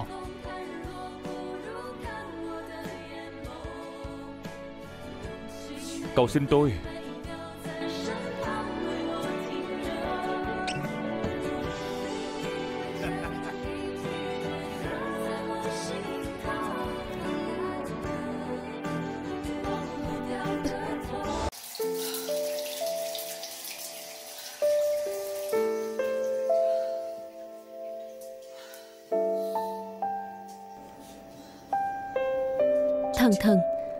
Con nhất định phải kiên trì. Mẹ sắp để dành đủ tiền rồi. Âu Nhan này rốt cuộc có lai lịch gì? Vậy mà lại được hàng thiếu gia gọi ở lại. Cô cho rằng đây là chuyện tốt gì sao? Nếu như cô ta có bối cảnh gì, Vậy cậu hàng có thể chỉ định cô ta đi phục vụ ông Thủy sao? Ông Thủy đó là người ra sao? Đó là ông già háo sắc có tiếng trong giới Còn có sở thích đặc biệt. Người mà ông ta nhìn chúng Không ai có kết cục tốt cả. Nhưng mà cậu hàng không phải đặc biệt quan tâm đến Âu Nhan sao? Lần trước bị đám cung đồ dương quy bao vây Là do cậu hàng đứng ra giúp đỡ. Nghe nói người đã bị quăng xuống biển cho cá rồi. Cậu hàng quan tâm đến cô ta sao? Người cậu ta quan tâm là tiểu thư Nhược Tuyết. Tôi nói cho cô biết Buổi tối hôm đó Tôi đã nghe rất rõ ràng. Dương Quy nói Là đồng hương của tiểu thư Nhược Tuyết Còn là người yêu cũ nữa. Hơn nữa Dương Quy làm chuyện đó Cũng là do tiểu thư Nhược Tuyết chỉ huy. Đã như vậy rồi mà cậu Hàng cũng không tức giận. Nếu không sao lại nói hàng thiếu gia về tiểu thư Nhược Tuyết Là tình yêu đích thực được Cô cho rằng đám người bị ném xuống biển đó Là vì báo thù cho Âu Nhan sao. Không phải Đó là bởi vì che giấu chậu xấu cho tiểu thư Nhược Tuyết. Tôi nói cho cô biết Lời này tôi chỉ nói với cô Không được truyền ra ngoài. Ừ Nếu không là sẽ chết Cũng chính là đắc tội hàng thiếu gia. Đến lúc đó không ai gánh nổi. Đi thôi. Như vậy Cô đi làm việc đi. Dạ giám đốc. Làm tốt lắm. Cảm ơn Âu tiểu thư tán thưởng. Tìm chết. Cho nên ngày hôm đó Anh ấy không phải vì mình. Không được. Mình phải đi hỏi cho rõ. Người đẹp Tôi nhớ cô lắm đó. Ông Thụy Nơi này là nhà vệ sinh. Xin ông tự trọng. Nhà vệ sinh? Tôi rất thích. Tôi muốn nhìn xem. Xem có mặt gì? Tránh ra đừng động vào tôi. Ông còn như vậy tôi sẽ hét lên. Tôi muốn xem xem Ai ở thiên thượng dân gian này dám ngăn tôi. Tránh ra cứu giới. Tránh ra đừng động vào tôi. Tránh ra. Cô sao rồi? Sao cậu lại ở đây Nếu không phải mình lén theo cậu Mình còn không biết cậu lại đi làm ở đây. Đồ đểu nhà ông. Long còn chưa một đủ Mà đã học làm anh hùng cứu mỹ nhân sao? Hôm nay tôi dạy dỗ cậu. Không sao chứ Không sao chứ Kiều Nhiên. Mình không sao. Mau đi Gọi người đi. Không được Giờ mình mà đi thì cậu sẽ bị đánh chết. Không sao đâu. Cậu đi mau. Mình đợi cậu Tôi xem hôm nay ai dám rời khỏi đây. Nam ném vào bãi tha ma, Nữ thì mang đi. Dạ. Ông Thụy thật là có hứng thú đó. Quá ra là cậu hàng. Cô gái này tôi mang đi. Không ý kiến chứ. Sợ rằng Hai người này ông đều không mang đi được đâu. Cậu có ý gì? Tôi vừa mới thu mua thiên thượng nhân gian. Ông Thụy liền gây ra chuyện này Trên địa bàn của tôi. Ông có ý gì sao? Được. Hôm nay tôi sẽ nể mặt Cậu hàng đây. Đi. Tiễn ông thị về. Dạ. Hàng di Phi Anh còn là đàn ông không? Anh lại để vợ mình đến nơi này làm việc. So với chỉ trích người khác, Không bằng suy nghĩ làm sao để nâng cao bản thân. Mỗi lần cố gắng gia dễ làm anh hùng, Lại liên lụy người khác. Anh, Bỏ đi. Nhanh nhanh Đi thôi. Hàng Diệp Hy Tôi có một chuyện Muốn hỏi anh. Nói. Đám người quấy rối tôi hôm đó Anh có biết người chỉ đạo phía sau là ai không? Ruồi mũi không dây quanh quả trứng lành. Nếu cô không đi dụ dỗ người khác Thì sao lại có người đến quấy rầy cô? Tôi chỉ hỏi anh có biết hay không. Nếu như tôi có chứng cứ Chứng minh là ông Nhật Tuyết làm. Vậy thì sao Anh biết rồi. Nhưng anh vẫn chọn tin tưởng cô ta. Nhược tuyết đừng cứu tôi. Chỉ dựa vào điều này Tôi có thể bảo vệ cô ấy cả đời. Vậy nếu như tôi nói anh biết Người năm đó cứu anh là tôi Mà không phải Nhật Tuyết. Mẹ Mẹ đang làm gì vậy? Để đề phòng lỡ như Mẹ đã đốt hết đồ của cái đứa đê tiện đó. Mẹ Mẹ xem. Quá ra cậu ấy tên Hàng Diệp Hy. Tiếc là mình không thể nói cho cậu ấy. Mình tên là gì? Vì chuyện mình bị thương khiến cho dì Doanh Doanh rất tức giận. Dì Doanh Doanh nói, Chuyện ngày hôm nay không được nói cho người khác biết.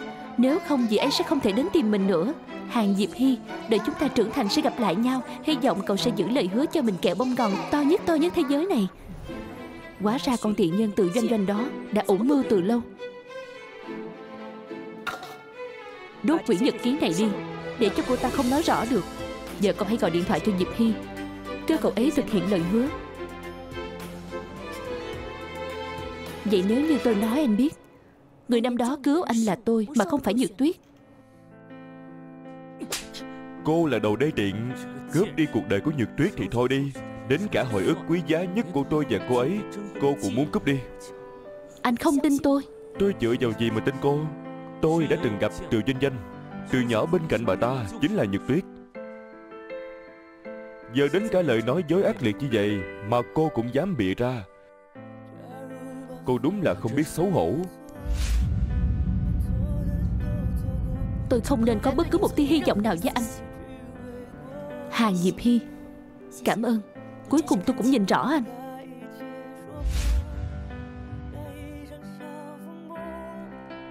Từ từ. Đừng quên Cô là người giúp việc nhà của tôi Cũng là tiểu thư trong quán của tôi. Không phiền cậu Hàng nhắc nhở. Tôi lúc nào cũng nhớ rõ thân phận của bản thân. Không phải là một năm ba tháng sao? Tôi chờ được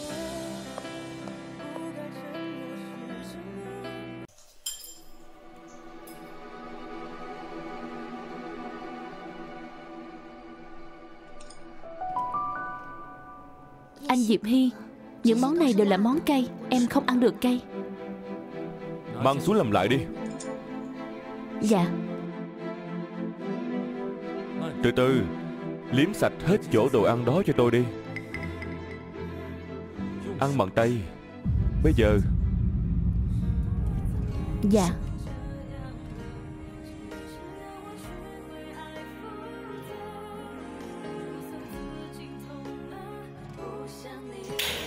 Âu Nhan Cô đang tức giận với tôi sao? Cậu Hàng Ông Nhan không dám. Đây là những gì mà tôi đáng phải làm. Được. Rất tốt. Thích làm người hầu như vậy Đi giặt hết quần áo của Nhật Tuyết cho tôi đi. Dạ. Giặt bằng tay. Dạ thưa thiếu gia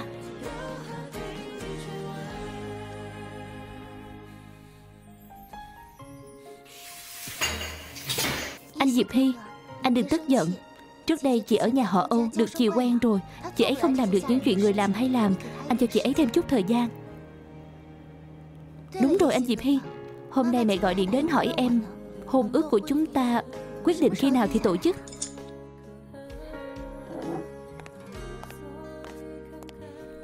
Khách hôm nay không tồi.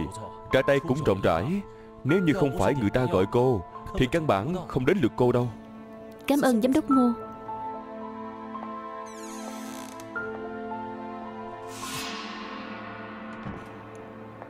Kiều Nhiên Sao cậu lại ở đây?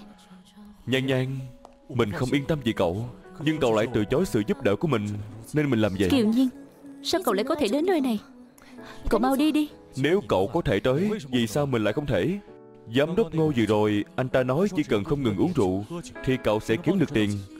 Có đúng không Mình gọi hết tất cả loại rượu ở đây Thì đủ tiền viện phí của thần thần. Kiều Nhiên Cậu làm như vậy thật khiến mình khó chịu. Cậu đi đi Mình không cần cậu dùng cách thức này để giúp mình. Nhan nhan. Huống hộ thân phận của cậu cũng không thích hợp với nơi như vậy. Sau này đừng để mình nhìn thấy cậu nữa. Nhan nhan. Cậu không đi đúng không? Vậy mình đi. Nhan nhan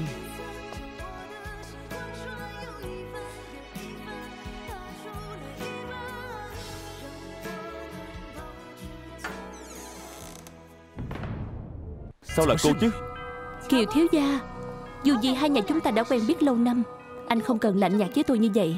Tôi chỉ biết một mình nhan nhan Mời cô quay về đi. Thật đúng là một tấm lòng si tình. Đến tôi cũng thấy cảm động. Đáng tiếc Không biết bà chị đó của tôi có gì tốt Khiến các người. Anh làm nhiều chuyện như vậy Nhưng chị ta lại không biết tốt xấu Không chọn một người đàn ông tốt như anh Mà cứ phải kẹp giữa tôi và anh Diệp Hi Cô đang nói lung tung cái gì vậy? Nhan nhan không phải như thế này. Nếu như để tôi nghe thấy một lời nói xấu về cô ấy từ miệng cô Cẩn thận tôi sẽ nát miệng cô. Nơi này không chào đón cô. Ra ngoài đi. Gấp cái gì chứ? Kiều thiếu gia Tôi đến tìm anh. Là muốn bàn chuyện hợp tác với anh. Chuyện hợp tác? Thật ngại quá. Sản nghiệp của nhà họ Kiều hiện giờ không do tôi phụ trách. Giờ tôi chỉ là một bác sĩ bình thường. Tôi và cô Không có gì để hợp tác cả. Kiều thiếu gia Anh đã hiểu lầm tôi rồi. Cái tôi nói là Âu Nhan. Nhan nhan Anh một lòng si tình với Âu Nhan Mà tôi lại chung tình với Diệp Hy. Nhưng một trang giấy kết hôn Lại khiến hai người họ trói chặt với nhau. Kiều thiếu gia Anh cũng không muốn bị động như vậy chứ. Cô muốn nói gì? Chỉ cần anh thuyết phục được Âu Nhan Rời khỏi Diệp Hy Thì tôi có thể thuyết phục ba mẹ tôi Nhận Âu Nhan làm con nuôi. Đến lúc đó Anh liền có thể chặn được cái miệng của những ông già ngoan cố đó. Danh chính ngôn thuận cưới Âu Nhan về nhà. Thế nào hả Kiều Thiếu Gia? Mối làm ăn này không thiệt chứ. Anh cười cái gì? Có biết sự khác biệt lớn nhất của cô và Nhan Nhan ở đâu không? Nhan Nhan Chưa bao giờ dùng tình cảm để giao dịch Mà cô thì lúc nào cũng chỉ biết lợi dụng. Đây chính là sự khác biệt của hai người. Váy xịn đồ xịn nhiều tiền thì như nào chứ? Cho dù cô là ai Cũng không che đậy được Sự thấp hèn của cô Đến cả đầu ngón tay của Nhan Nhan Cô cũng không bằng nữa.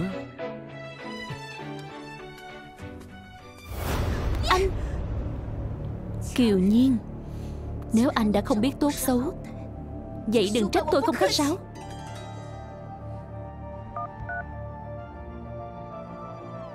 Đến đây gặp tôi. Làm thật sạch sẽ vào. Cô Nhật Tuyết an tâm. Tôi làm việc cô còn không vừa lòng sao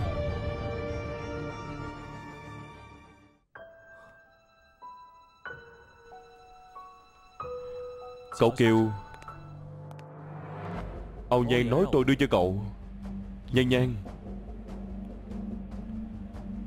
Xem ra Cô ấy không hề giận tôi Mà vẫn rất quan tâm đến tôi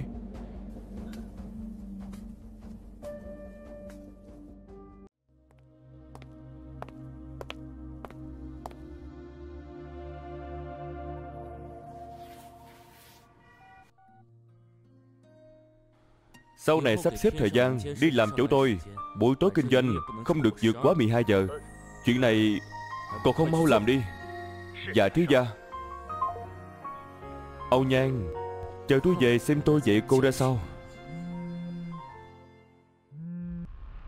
Alo. Anh Diệp Hy em thấy không thoải mái lắm. Anh có thể đến thăm em không? Thấy không thoải mái Thì tìm bác sĩ đi.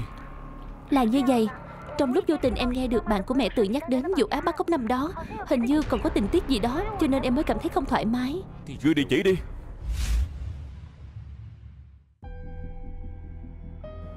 Anh Diệp Hy.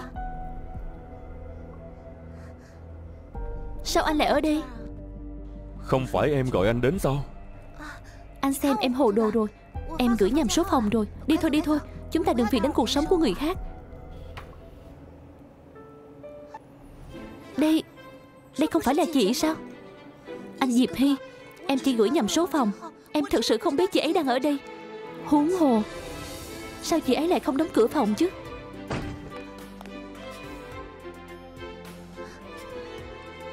Âu Nhan Cậu Kiều. Âu Nhan Đứng lên. Âu Nhan Mấy ngày nay Kiều thiếu gia vẫn luôn đến tìm chị Âu Nhan Nhưng lại không nỡ để chị ấy uống rượu. Khó trách chị ấy sẽ động lòng. Âu Nhan.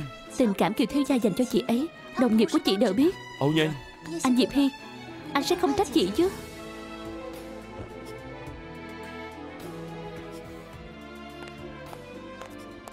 Anh Diệp Hy Âu Nhan Lần này cho dù chỉ có 10 cái miệng Cũng không giải thích rõ được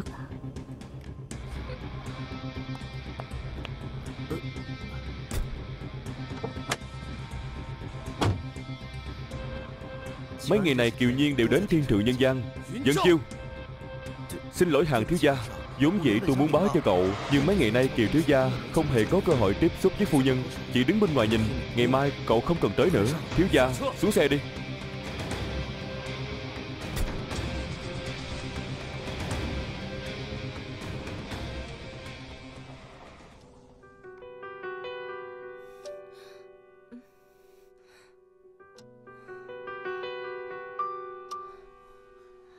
Nhan nhan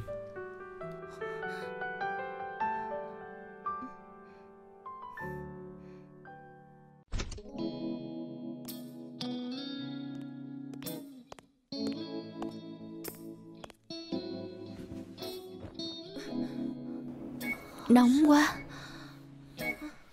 Mặc vào đi. Mát quá Âu Nhan Cô có biết mình đang làm cái gì không hả? Âu Nhan Cô đang đùa với lửa đó. Cô nhìn rõ xem tôi là ai. Hà Diệp Hy.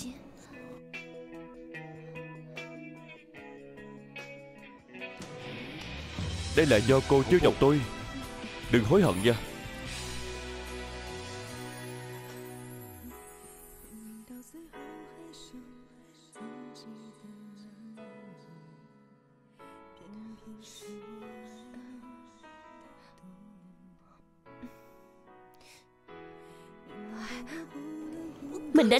Gì vậy chứ?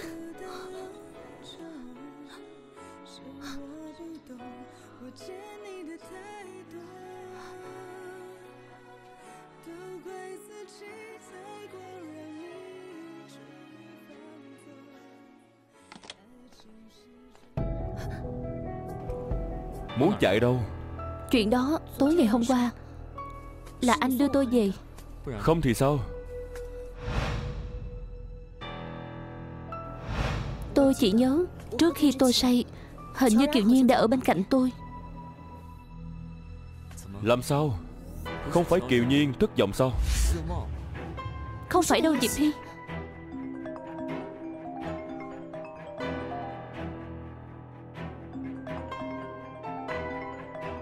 Nhận đi.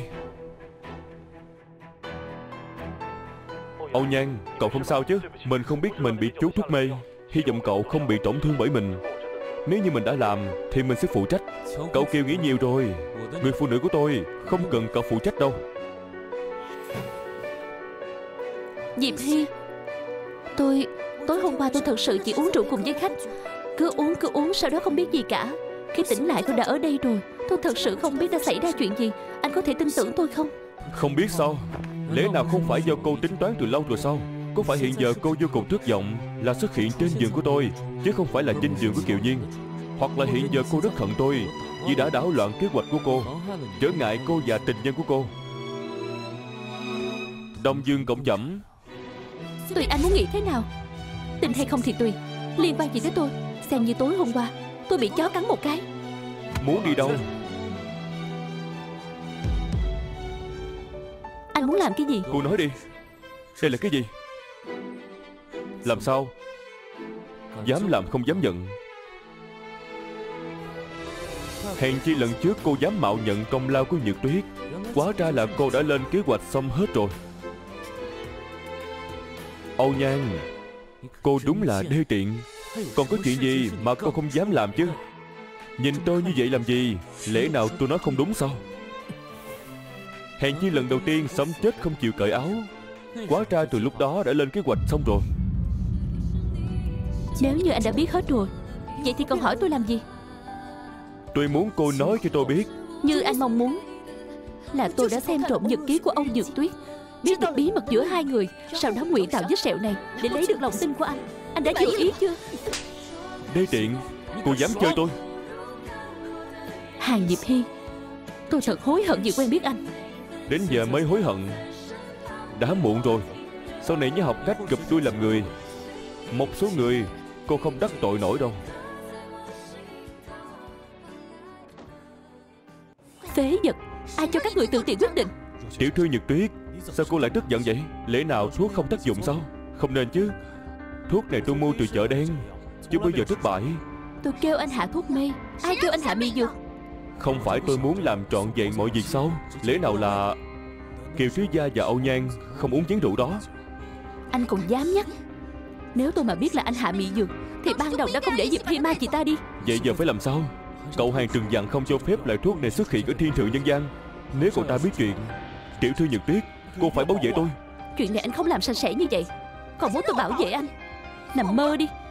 Diệp Hy đã bắt đầu điều tra rồi. Cầm tiền rồi cút đi càng xa càng tốt. Đã nghe thấy chưa? Dạ Dạ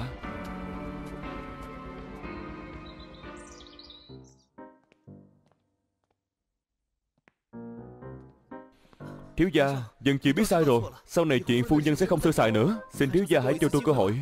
Đừng nhiều lời. Cảm ơn thiếu gia. Chuyện tối hôm qua điều tra đến đâu rồi? Trong ly rượu, Đúng là đã bị người khác cho vào mị dược Hơn nữa hình như giám đốc ngô biết mọi chuyện bại lộ, Nên đã bỏ chạy rồi. Trước khi đi còn xóa hết video. Nhưng mà thiếu gia yên tâm. Tôi đã mang camera đi khôi phục rồi. Hơn nữa cũng tăng thêm người chờ ở sân bay. Giám đốc ngô tuyệt đối không chạy thoát được đâu. Làm tốt lắm. Còn một chuyện nữa. Viện trưởng bệnh viện Kinh Khang tối qua vẫn luôn tìm cậu. Muốn nói chuyện hợp tác đầu tư. Bệnh viện Kiều Duyên đang làm việc. Dạ. Đi. Đi xem sao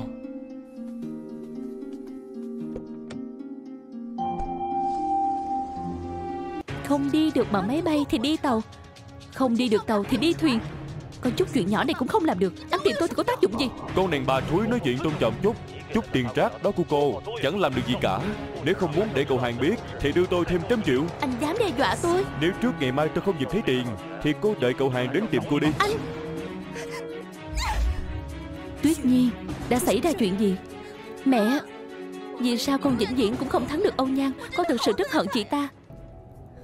Con gái ngoan Đều do mẹ không tốt. Mẹ đã để con chịu khổ rồi. Xem ra Mẹ phải đích thân ra mặt. Mẹ Mẹ muốn làm gì? Mẹ muốn đi gặp nó. Mẹ, Đừng đi. Hiện giờ ông Nhan đã không còn là ông Nhan trước đây nữa.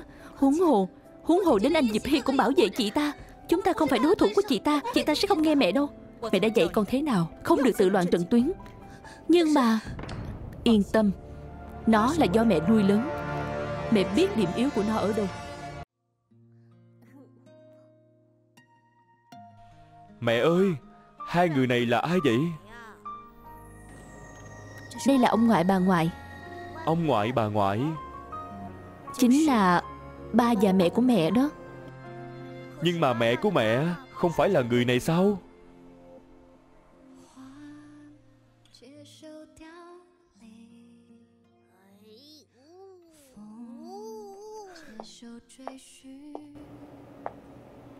Mẹ Sao mẹ lại đến đây? Mẹ đến thăm con. Trước đây con nói đứa bé bị bệnh Mẹ còn không tin. Không ngờ lại là thật. Là đứa bé này sao? Dạ Tên nó là gì? Âu thần. Không tệ rất tốt. Một mình nuôi con Rất vất vả đúng không? Mẹ Đi Ra ngoài nói chuyện.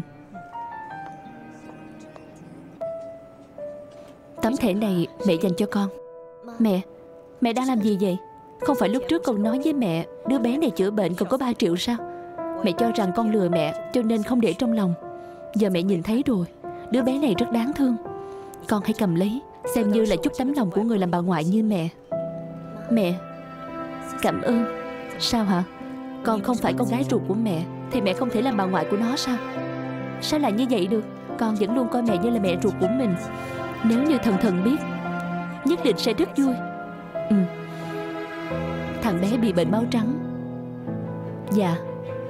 Bệnh này không chỉ ở Kinh Thành có thể chữa Con cầm số tiền này Đưa thằng bé đi nơi khác đi. Mẹ cảm thấy Mai Thành rất tốt. Cho nên hôm nay mẹ đến. Chính là vì muốn dùng tiền Đuổi hai mẹ con con đi đúng không? Cái này làm sao mà đuổi được? Nhược Tuyết và Diệp Hy Sắp kết hôn đến nơi rồi. Con nói con ở mãi trong nhà họ hàng Thế này cũng không thích hợp. Cho nên những lời quan tâm, yêu thương Đều là giả hết Đây đều là vì muốn đuổi con đi Nên tìm lý do thôi. Âu Nhan Đừng có mà không biết điều. Vốn dĩ cô đã cướp cuộc đời của Nhật Tuyết, Hiện giờ lại không biết lấy một thằng con quan ở đâu ra, Làm mất mặt nhà họ Âu chúng tôi. Nếu không phải để ý đến mặt mũi của Nhật Tuyết, Đừng nói 3 triệu. Cho dù là 300 đồng, tôi cũng không cho cô. Chuyển đi thì có thể, Nhưng mà 3 triệu này không đủ. Còn muốn 5 triệu, Nhớ ban đầu. Con quỳ trên đất cầu xin mẹ cho mượn tiền. Thế nào mẹ cũng không đồng ý. Bây giờ lại vì nể mặt Dược Tuyết. Liền tùy tiện là có thể bỏ ra từng đấy tiền. Cô còn muốn so với Dược Tuyết? Cô xứng sao? Đúng. Còn không xứng. Nhưng thân phận thiên kim nhà họ Âu, Chỉ 3 triệu nho nhỏ. Mẹ không thấy như vậy hơi ít sao? Càng huống hồ, Còn có cái mụ thiếu phu nhân nhà họ hàng. Xin lỗi con thần thần. Bác sĩ nói, Chữa trị sau phẫu thuật của con Còn cần 2 triệu nữa. Vì con, Mẹ chỉ có thể làm người xấu. Âu Nhan, Tôi thấy cô muốn tiền đến điên lên rồi. Ban đầu ở nhà họ Âu, Tôi cũng không thiệt thòi gì cô. Cô ăn, cô mặc, Đều là thứ tốt nhất. Đồ cô mặc trên người, Đều là thứ tốt nhất. Thật không ngờ, Tôi lại nuôi ra một người trong mắt chỉ biết đánh tiền mà thôi. Mẹ cũng biết, Những thứ đồ đó không phải để cho con, Mà là cho Âu Nhược Tuyết. Tự hỏi chính mình, Nếu như ban đầu mẹ biết con là con gái của tự doanh doanh, Thì mẹ sẽ làm như vậy sao? Nằm mơ cho nên 5 triệu này Mua đứt hai thân phận này. Tính thế nào mẹ cũng kiếm lời rồi. Cô điên rồi.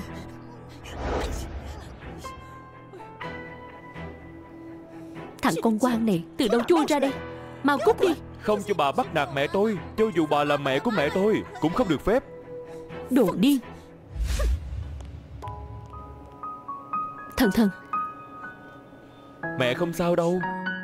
Mẹ không sao. Mẹ của mẹ không bảo vệ được mẹ Thần thần bảo vệ mẹ. Con ngoan lắm. Cậu Hàng Cậu đích thân đến đây thế này Đúng là quá vinh hạnh cho bệnh viện chúng tôi. Đây Mời đi bên này. Các người làm ăn kỳ cục Thiếu gia dị ứng với bông liễu mà không biết sao. Quá ra là vậy. Thật sự xin lỗi cậu Hàng. Ngày mai chặt cái cây này đi. Không cần làm lớn chuyện Cái cây này Cứ giữ lại đi. Được. Đậu vàng nhỏ phải được phơi nắng nhiều Mới có thể nhanh chóng mọc mầm. Thần thần cũng phải phơi nắng Mới nhanh cao lớn Mới có thể bảo vệ cho mẹ. Ngoan lắm. Ra đây. Thần thần Mẹ qua đây một chút. Con ở đây đợi mẹ nha. Mẹ sẽ quay về ngay. Dạ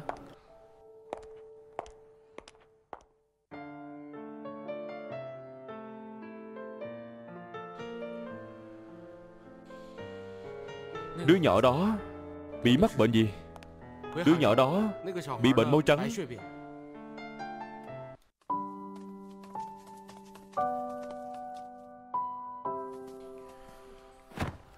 Nhóc trốn cái gì chứ? Sợ tôi sao? Ông là đầu xấu xa, Nhưng tôi không sợ ông. Chờ tôi trưởng thành, Tôi sẽ đánh thắng ông. Chỉ với cái thân xác này của nhóc hả? Thôi bỏ đi. So đo với một đứa bé đang bệnh làm gì chứ? Muốn có sao? Con nhỏ mà đã biết nói xạo, Phải biết thừa nhận dục vọng của bản thân, Đã biết chưa? Mẹ nói thân thể của tôi hư rồi, Giống như siêu nhân vậy. Mẹ còn nói, Thân thể hư rồi thì có thể sửa, Nhưng mà siêu nhân đó của tôi Đã mấy ngày rồi, Vì sao vẫn chưa sửa xong?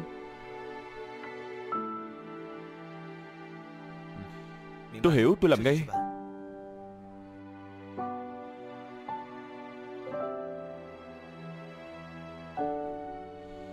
Nhóc con, Nhìn đây. Siêu nhân sửa xong rồi, Siêu nhân sửa xong rồi. Cho nhóc đó, Cảm ơn ông già xấu xa. Sao cứ gọi ta là ông già xấu xa hoài vậy? Ông bắt nạt mẹ tôi, Khiến mẹ phải khóc. Vậy sau này tôi không vậy nữa. Nhóc cũng không được gọi tôi là ông già thúi nghe chưa? Chúng ta móc ngéo đi. Móc ngéo, Khóa kéo, một trăm năm, hỏng đổi.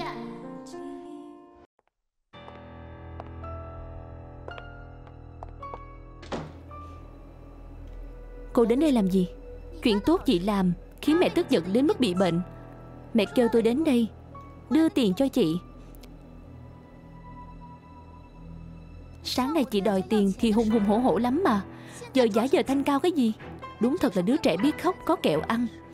Đòi tiền đòi đến tận nhà. Âu Nhan, Da mặt chị cũng thật là dày.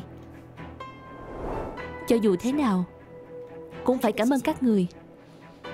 Chỉ cần chị đồng ý với tôi Cầm số tiền này rồi cút đi thật xa. Đừng có quấn lấy anh Diệp Hi của tôi nữa. Nếu không tôi sẽ khiến chị đẹp mặt.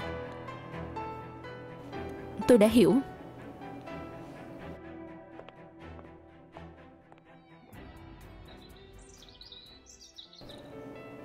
Thân thân Cuối cùng chúng ta cũng có tiền rồi Có thể làm phẫu thuật rồi thân thân. Nhan Nhan thật sao? Cậu xem. Tốt quá rồi Tốt quá rồi, Con được sửa lại giống với siêu nhân rồi. Thiếu gia, Còn tặng không? Nói cho viện trưởng trưởng, Đầu tư có thể, bao nhiêu tiền cũng được. Nhưng tôi có một điều kiện, Kiều Nhiên, Buộc phải cút. Hay Diệp Hy Thật không ngờ anh lại đế tiện. Kiều thiếu gia thật là nóng tính. Uống chén trà hạ hỏa đi. Bị ổi, Tôi nói từ lâu rồi. Chờ nghe cậu có thực lực rồi hãy tới. Kiều thiếu gia, Nếu như không muốn bước vào hồng trần, Nhiễm chút khí dân gian. Thà rằng buông thai cho cả gia nghiệp to lớn, Cũng muốn làm một bác sĩ thanh nhàn. Vậy thì phải tiếp nhận bài học xã hội, Bất cứ lúc nào. Buổi học này, Tôi dạy miễn phí cho cậu. Anh cho rằng Anh có thể một tay dưới trời sao? Kinh thành, Không phải chỉ có một mình nhà họ hàng đâu. Viện trưởng. Viện trưởng. Vì sao lại đuổi việc Kiều Nhiên? Cậu ấy là tiến sĩ Lại là chuyên gia về mặt chữa bệnh máu trắng. Nhìn khắp cả kinh thành Không có ai giỏi hơn cậu ấy về mặt này. Điều này không hợp lý. Tôi biết ý của cô. Tôi cũng rất tiếc tài. Nhưng mà Tháo chuông phải tìm người buộc chuông. Nếu như cô thật sự muốn chữa khỏi bệnh cho thần thần Không bằng cô đi tìm cậu hàng Hàng Diệp Hy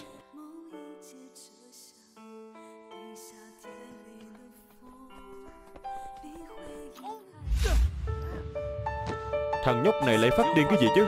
Đồ lừa đảo. Ông là đồ lừa đảo. Nói không bắt nạt mẹ tôi nữa. Lại bắt nạt mẹ tôi. Thần thần, Đứng lên đi. Đồ lừa đảo. Sau này tôi sẽ không tin lời ông nữa. Thần thần. Thiếu gia. Gọi bác sĩ mau lên. Dạ. Thần thần, Không sao đâu. Sẽ không sao đâu. Nhanh nhanh nhanh. Sao cô ở đây chứ? Vì sao lại đuổi việc Kiều Nhiên? Con trai cô còn nằm trong bệnh viện Hôn mê bất tỉnh. Cô lại chạy tới đây yêu cầu tôi Không được đuổi việc tình nhân của cô. Hàng Diệp Hy Anh dựa vào cái gì mà quyết định cuộc đời người khác? Anh có tư cách gì mà làm vậy chứ? Có quyền hay không Không phải do cô quyết. Hàng Diệp Hy Tôi cầu xin anh. Anh đừng đuổi việc Kiều Nhiên. Anh đừng đuổi việc Kiều Nhiên có được không? Cầu xin tôi. Cô dựa vào cái gì mà cầu xin tôi chứ Cầu xin người khác Thì phải trả giá có biết không hả? Trả giá? Được. Trả giá gì tôi cũng có thể. Chỉ cần anh không đuổi việc Kiều Nhiên Anh giày dò tôi thế nào cũng được. Tôi có thể ngủ với anh. Đúng tôi có thể ngủ với anh. Cô đang làm gì hả? Có phải chỉ cần tôi làm vậy Thì anh sẽ không đuổi việc Kiều Nhiên không? Đừng cởi nữa. Tôi nói đừng cởi nữa. Tôi bảo cô đừng cởi nữa Âu Nhan Cô thật khiến tôi buồn nôn. Vì Kiều Nhiên mà cô dám làm như vậy. Diệp Hy Được. Tôi không chỉ đuổi Kiều Nhiên khỏi kinh thành Tôi còn khiến cho cả kinh thành Không có chỗ cho hắn. Không thể được. Hàng Diệp Hy Kiều Nhiên là chuyên gia về mặt này. Nếu như bị anh đuổi việc Thì thần thần sẽ chết thật. Tôi cầu xin anh Anh đừng đuổi việc cậu ấy. Thần thần sẽ chết thật đấy Được rồi. Vậy thì để cho nó chết đi. Hàng Diệp Hy Anh có biết bản thân mình đang nói gì không? Cô cho rằng tôi sẽ sinh ra chút tình thương cho đứa con quan đó sao? Nó là con của anh.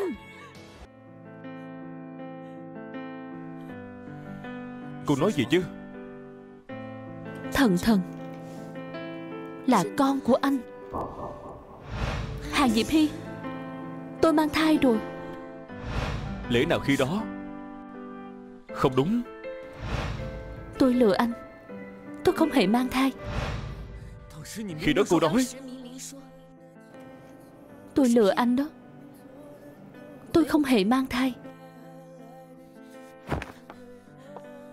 Cô lại muốn lừa tôi. Vì Kiều Nhiên sao? Điều gì cô cũng làm ra được. Đến cả chuyện về đứa bé mà cô cũng nói dối. Cô xứng với nó sao? Hàng Diệp Hy khi đó anh hận tôi thấu xương. Anh cảm thấy cho dù tôi nói là sự thật, Thì anh sẽ giữ lại đứa bé này sao?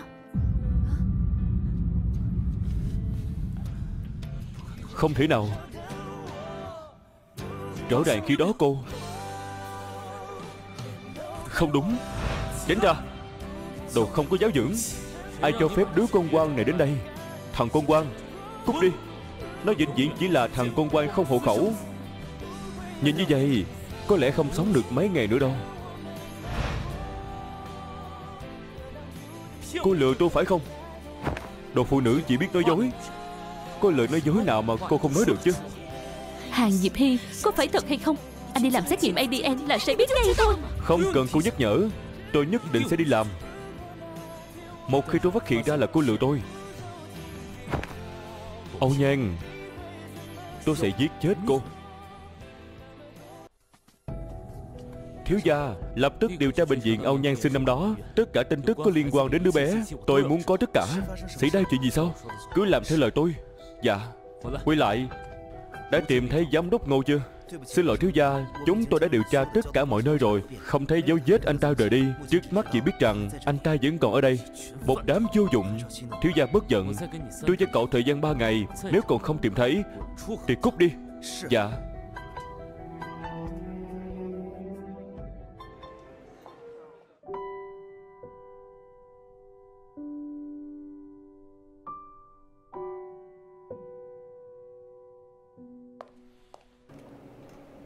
Kiều Nhiên Làm sao vậy?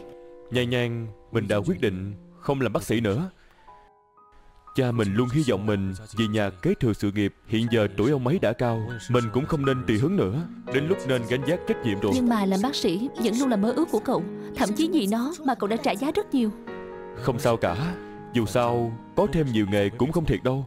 Hơn nữa Lỡ như sau này thần thần bị sốt về đêm Mình cũng có thể làm bác sĩ gia đình đúng không?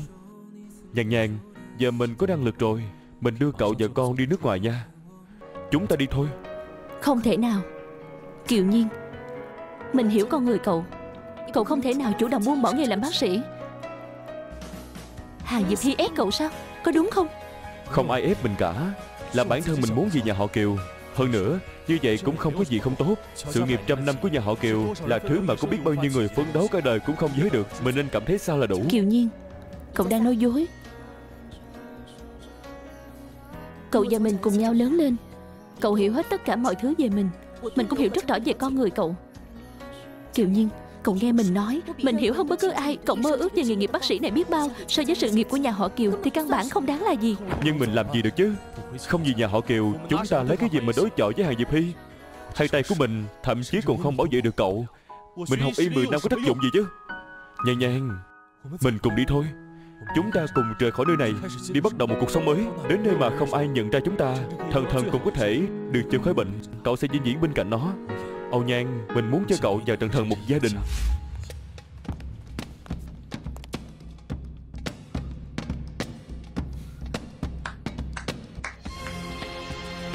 Đúng là một đôi sống chết có nhau. Muốn đi, Không dễ như vậy đâu. Mẹ ơi! Các người muốn làm cái gì? Hàng Diệp Hy Anh muốn làm gì? Buông thằng nhóc ra. Dội dàng biểu hiện như vậy Tôi không biết hóa ra Kiều Thiếu Gia Có sở thích đặc biệt là làm cho dưỡng đó. Anh Đừng xúc động. lấy mẫu thật kỹ cho tôi. Không lấy tốt Thì các người đừng làm nữa. Dạ. Mẹ ơi Mẹ ơi con sợ lắm. Thần thần đừng sợ Có mẹ ở đây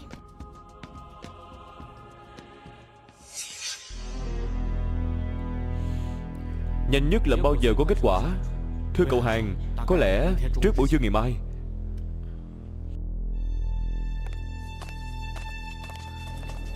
Thần thần Kiều Nhiên, Cậu cũng nhìn thấy rồi. Mình và thần thần Không cần thiết phải ra nước ngoài nữa. Ngày mai, Thần thần sẽ nhận được sự chữa trị tốt nhất, Ít nhất Ít nhất sẽ không có. Kết quả có bệnh không ai chữa nữa. Cảm ơn sự chuẩn bị của cậu. Nhưng mà Mình không cần dùng đến. Cảm ơn.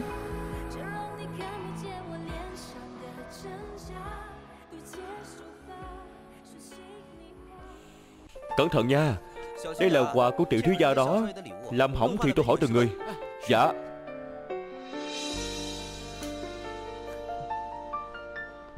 Thiếu gia Trợ lý dân, Giờ tới cửa hàng cũng không gõ sao? Xin lỗi cậu Sẽ không có lần sau nữa. Chuyện đó, Phòng trẻ em đã bố trí gần xong rồi. Cậu có muốn qua đó xem không? Tôi đến đó làm gì? Cậu cứ làm tùy ý, Cho dù có làm thành chuồng heo cũng không sao cả. Phòng của trẻ con Làm tỉ mỹ để làm gì? Đã có tin tức cô tổng giám đốc Ngô chưa? Tuy rằng chưa có tin tức cô tổng giám đốc Ngô, Nhưng mà chúng tôi phát hiện Chỗ mẹ anh ta ở, Gần đây có rất nhiều đồ. Hắn từng đến đó sau Tôi nghĩ vậy, Tôi đã cử người đến đó trong chừng rồi. Chỉ cần anh ta xuất hiện là dứt luôn. Làm tốt lắm. Đúng rồi, thiếu gia. Thêm một tiếng nữa là có kết quả giám định quan hệ cha con rồi. Cậu có muốn đến bệnh viện không? Kết quả thì kết quả. Lẽ nào còn cần tôi phải đi xem sao? Từ từ. Đi lái xe.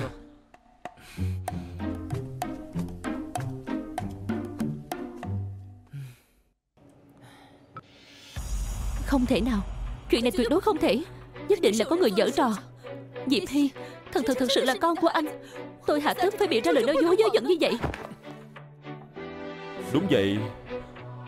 Tôi cũng rất tò mò Vì sao cô lại nói lời nói dối như này chứ? Chị à Chị đây là lòng người không đủ rắn nuốt voi. Âu Nhật Tuyết Cô đến đây làm gì? Nghe nói chị sinh cho Diệp Hy một đứa con Tôi đương nhiên phải đến xem.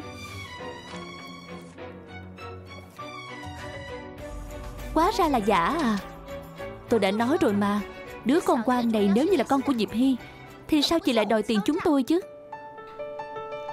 Có ý gì?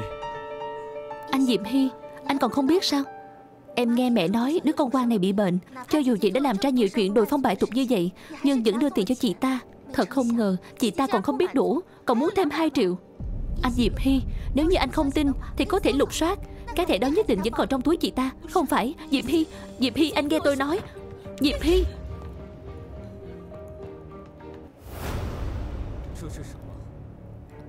Diệp Hy Diệp Hy, anh nghe tôi nói. Ca phẫu thuật của thần thần rất nguy hiểm. Hai triệu này là để cho nó dùng chữa trị sau phẫu thuật. Nếu anh không tin thì có thể hỏi bệnh viện. Thật đấy. Cho dù số tiền này dùng vào việc đó, Chuyện chị đòi tiền từ chỗ mẹ là sự thật. Mẹ tôi bị chị chọc tức đến bị bệnh. Còn muốn thế nào nữa? Sao hả? Lấy 5 triệu còn không đủ. Vậy mà còn bị ra lời nói dối này. Lần này chị muốn đòi bao nhiêu tiền từ chỗ anh Diệp Hy? Không phải như vậy. Thật sự không phải như vậy. Diệp Hy, Thần thần thật sự là con của anh. Anh nghi ngờ chuyện gì cũng không thể nghi ngờ chuyện này, Diệp Hy. Chết cũng không đổi Ông già xấu bắt nạt mẹ tôi rồi. Cút đi. Thần thần. Quả nhiên là đồ con quan không có giáo dục. Thật đúng là không có người dạy. Với loại con quan này Mà cũng dám mạo nhận là dòng máu nhà họ hàng sao? Làm sao? Chị muốn lợi dụng đứa con quan này Để chiếm đoạt tài sản Và vị trí phu nhân nhà họ hàng sao? Chị à Chị đúng là si tâm vọng tưởng. Là cô. Là cô đã dở trò với kết quả xét nghiệm ADN có đúng không? Đủ rồi Nhược Tuyết không hề biết Chuyện làm xét nghiệm ADN Cô muốn vu an cho cô ấy sao? Âu Nhan, Tôi thật thất vọng về cô.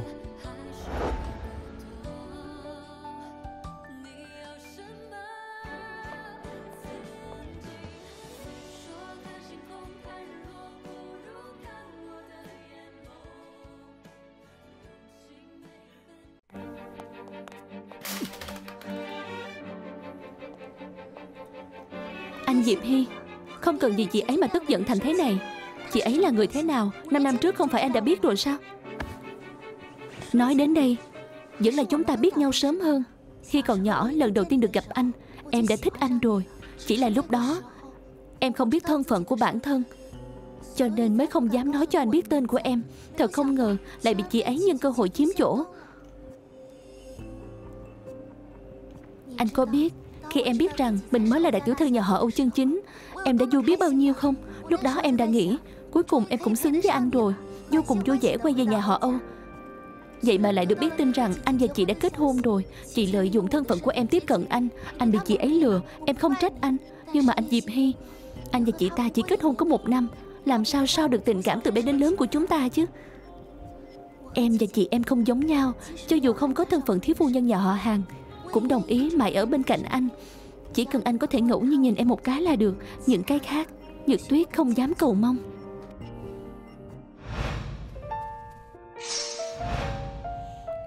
Nhật Tuyết Bao năm qua Em đã chịu tuổi thân rồi. Tháng sau chúng ta kết hôn nha.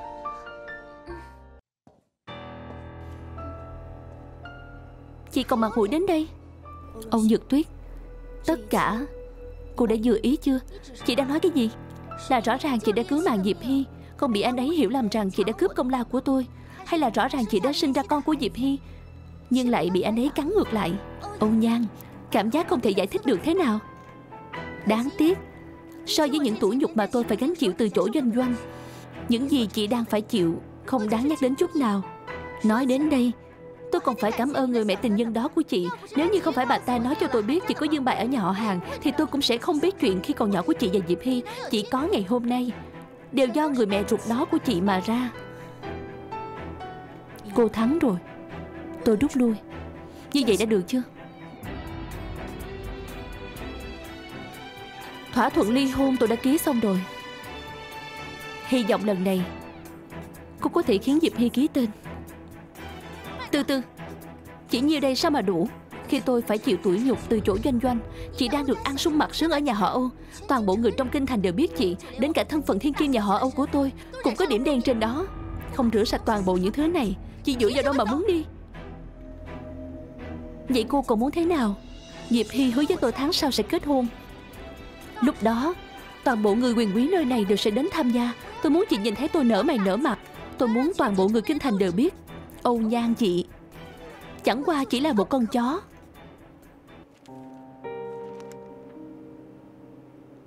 Âu Nhan, Cô có gì không vừa ý với nơi này của chúng tôi sao? Chuyện của cô tôi đã nghe nói rồi. Ở chỗ giám đốc cũ của cô bị đối xử không tốt. Là do công ty có lỗi với cô, Hiện giờ thiên thượng nhân gian đã sửa chữa lại toàn bộ. Nếu không, cô ở lại thêm xem sao. Không cần đâu giám đốc. Cảm ơn cô. Tôi còn có chuyện khác cần phải làm. Có lẽ không thể tiếp tục ở lại đây làm việc nữa. Cô đừng làm khó tôi. Tôi vừa nhận chức Tạm thời chưa có quyền quyết định cô đi hay ở. Nếu không để tôi hỏi lại cấp trên xem. Vậy được thôi.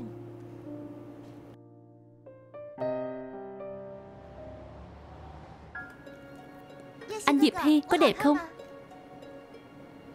Anh Diệp Hy. Anh Diệp Hy. Đẹp lắm. Tuyết Nhi của chúng ta Mặc gì cũng đẹp. Nói dối Anh không hề nhìn em chút nào. Không. Ngại quá. Cô đo lại cho tôi đi. Tôi tới liền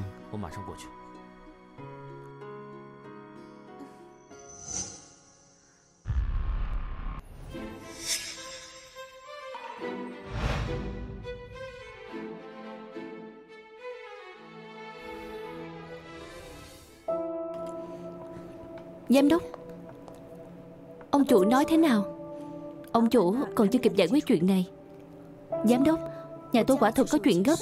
Con trai tôi hiện giờ đang nằm viện Cần có người chăm sóc. Vậy quả thực rất khó khăn. Hay là như vậy đi, Dù sao hôm nay cô cũng đến rồi, Không bằng chúng ta làm tạm tối nay đã. Giám đốc, Tôi, Khách hàng hôm nay ra tay rất hào phóng.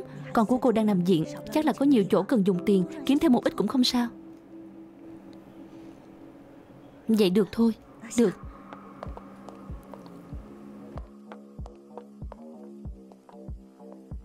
Biểu hiện cho tốt. Ừ.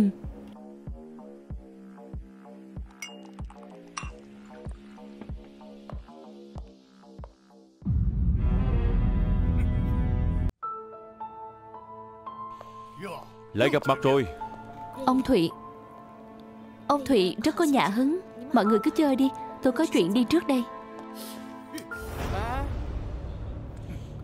Đã đến đây rồi, Không uống cùng một ly với tôi sao?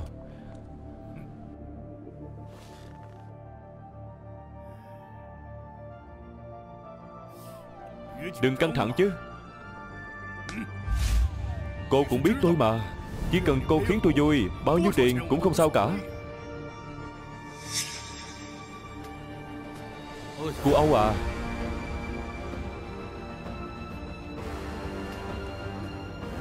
Ông Thụy.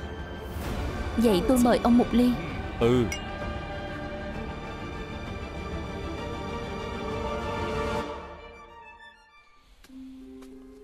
Thiếu gia.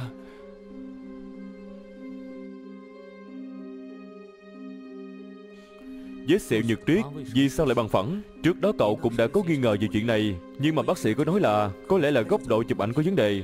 Cậu còn muốn tìm nhật tuyết hỏi cho đàng hoàng, Nhưng mà sau đó xảy ra tai nạn xe. Vết sẹo này bị vết thương mới chỉ lấp đi. Tài xế nhất quyết nói là mình uống rượu say, Không nhìn rõ xe của chúng ta. Chúng ta cử người đi điều tra. Tài khoản ngân hàng của tài xế Có nhận được 5 triệu. Người chuyển tiền là Một người có tên là Dương Quy Thiếu gia, Cậu có phát hiện gì mới sao? Người chúng ta cử đi, Mai Thành điều tra. Còn ở đó không? Còn, sau khi Dương Quy chết, Vẫn luôn ở lại Mai Thành Điều tra quan hệ xã hội của hắn. Tiếp tục cử người. Âu Nhược Tuyết ở Mai Thành Đã tiếp xúc với ai? Đã làm những chuyện gì? Có ra khỏi Mai Thành hay không? Điều tra toàn bộ đi. Dân. Uống. Uống đi. Canh ly nào? Uống thêm ly nữa. Uống thêm ly nữa. Uống đi. Nào.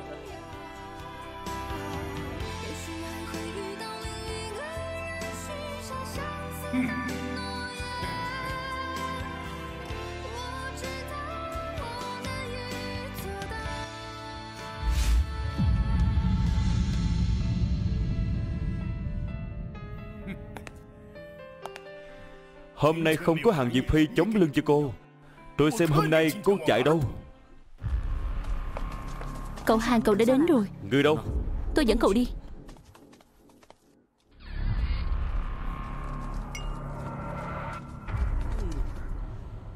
Người đâu? Uống tiếp đi. Mặc kệ của tao. Cái ông Thụy này Rõ ràng đã nói với ông ta Uống rượu thôi thì được Tuyệt đối không được đưa người đi. Ông Thủy Đúng đúng Người đâu? Cậu Hàng Cậu Hàng Cậu đừng làm khó chúng tôi. Chuyện ông thụy, Chúng tôi đều không biết. Nói Nói. Biệt thự giữa núi chung cư đế cảnh Còn có khách sạn riêng Đô Là những nơi mà ông thụy thường đến. Chỉ có mấy nơi này. Cậu Hàng Cậu Hàng Cậu Hàng Cậu Hàng tha mạng chúng tôi. Ông thụy chưa bao giờ để chúng tôi đi theo. Chúng tôi cũng không biết. Trợ lý dân Ông Nhan này rốt cuộc có quan hệ gì với cậu hàng Phu nhân nhà hàng cũng không biết nữa Trong người cũng không ra hồn Ngày mai đừng đến nữa. Trợ lý dân Trợ lý dân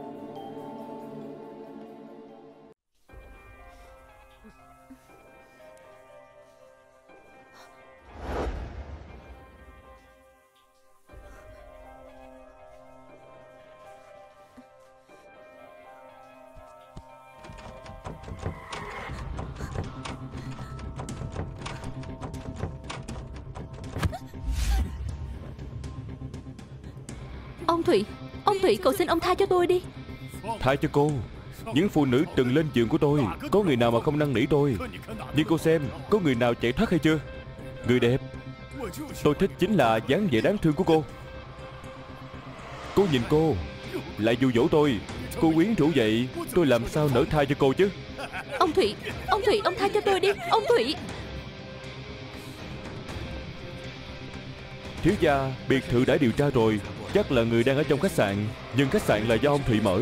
Tính bảo mật rất tốt Gần đó có thiết bị chặn truyền sóng. Vì những người giàu có đam mê đặc biệt xây dựng Người của chúng ta không vào được Rất bị động. Đừng nhiều lời Lên xe đi. Dạ. Ông Thụy tôi đã từng sinh con rồi. Cái gì? Ông Thụy Có lẽ ông sẽ không có hứng thú với một người phụ nữ đã từng sinh con đúng không? Không chịu nói sớm. Thật đen đuổi Nếu như đã làm cho ông Thụy mất hứng Vậy tôi đi trước đi. Có rất nhiều cô gái xinh đẹp muốn lấy lòng ông. Nhưng hôm nay tôi lại có hứng thú với một người phụ nữ như cô. Cha đứa con đó của cô Có lẽ chưa nói cho cô đúng không? Từng sinh Có cách chơi của người từng sinh Ông Thụy Ông muốn làm gì vậy ông Thụy Đương nhiên là làm chuyện khiến cô vui vẻ rồi. Ông Thụy Tôi cầu xin ông hãy tha cho tôi đi. Ông Thụy Ông Thụy Ông Thụy Tha cho tôi đi. Ông Thụy Tôi cầu xin ông Ông Thụy Hét Hét lớn lên. Cô hét càng lớn tiếng Tôi càng hưng phấn. Ông Thụy Sau này tôi không bao giờ dám nữa Ông Thụy Muốn tôi bỏ qua cho cô Thì chơi cùng tôi khiến tôi vui vẻ trước đi. Bên này không có Lên thêm một tầng đi Tiếp tục tìm. Dạ Ông Thụy Ông Thụy Tha cho tôi đi. Ông Thụy Thiếu gia, không được rồi. Như vậy quá chậm rồi. Thiết bị truy tìm của chúng ta không tín hiệu. Bây giờ chỉ tìm từng phòng một. Thế này đi. Ấn còi báo động cháy Lát nữa, những người chạy ra, Một người cũng không được thả đi. Dạ.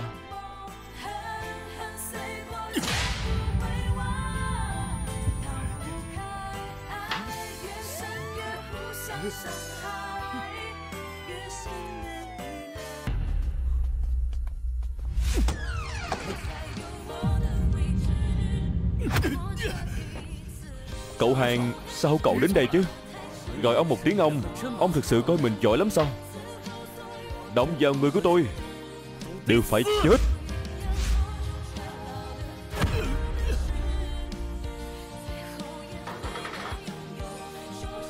Lấy danh nghĩa hàng thị, ra lệnh phong sát. Tôi muốn tên súc sinh này vĩnh viễn trốn trong nhà tù, Không dám ra ngoài. Dạ. Âu Nhan. Âu Nhan. Không sao rồi. Hàng Diệp Hy Giờ anh đã vừa ý chưa? Âu Nhan Bác sĩ Cố gắng lên. Hàng Diệp Hy Anh làm gì với Âu Nhan vậy? Anh còn là con người không? Tại sao anh muốn hại cô ấy chứ? Hàng Diệp Hy Giờ anh đã vừa ý chưa? Chú Kiều Nhiên Vừa rồi, người nằm trên cán là mẹ của cháu sao?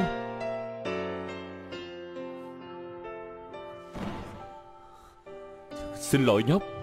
Tránh ra. Tôi ghét ông già xấu xa như ông. Thần thần Thần thần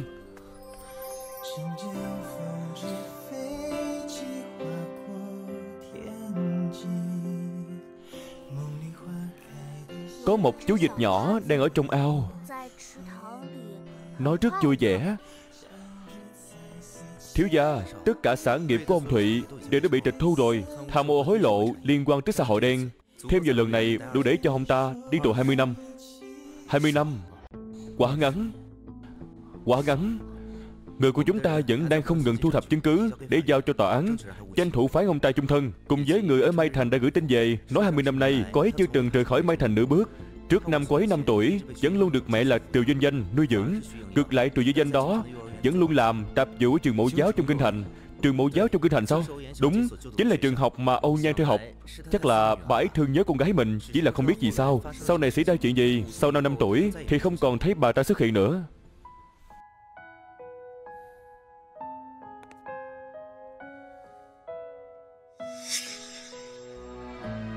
Cậu tên là gì? Mình tên là Hàng Diệp Hy. Mình tên là Hàng Diệp Hy. Mình tên Ai kêu cháu lo chuyện bao đồng? Giờ thì hay rồi chứ. Cháu muốn hại chết gì à?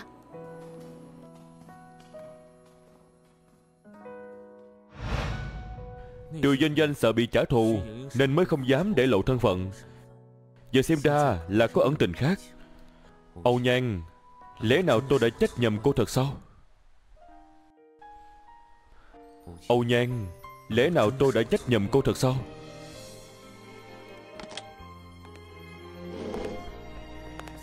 Tránh ra, Nơi này không chào đón ông. Thần thần, Chú không đến làm tổn thương mẹ cháu. Chú chỉ thăm mẹ cháu thôi. Đồ ông già thối, Ông bất xạo đi. Là ai khiến cho thần thần của chúng ta tức giận vậy? Cháu đứng đây ngăn cản, Thì ông viện trưởng đây, Làm sao có thể khám bệnh cho mẹ cháu được chứ? Đúng chưa nhóc? Cảm ơn nha. Ông viện trưởng ơi, Khi nào thì mẹ cháu mới khỏe lại được? Chỉ cần thần thần ngoan. Ngoan ngoãn nghe lời gì y tá. Uống thuốc đúng giờ, Thì mẹ cháu sẽ khỏi nhanh thôi. Thật sao ạ? Đương nhiên rồi. Ừ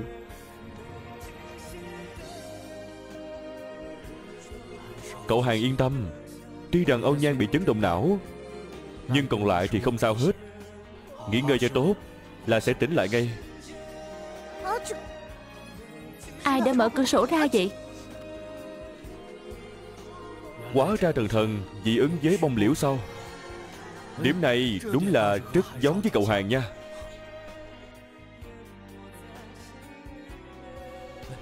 Viện trưởng Tôi có một chuyện muốn nhờ ông Mẹ Mẹ quý về đi.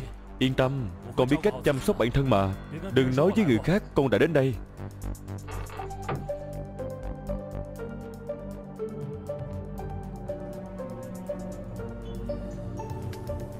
Giám đốc Ngô.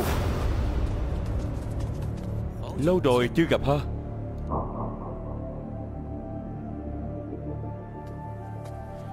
Điều tra rõ rồi. Quả thật là như vậy. Có chứng cứ không? Đây là hóa đơn mà giám đốc Ngô đã mua bị dược.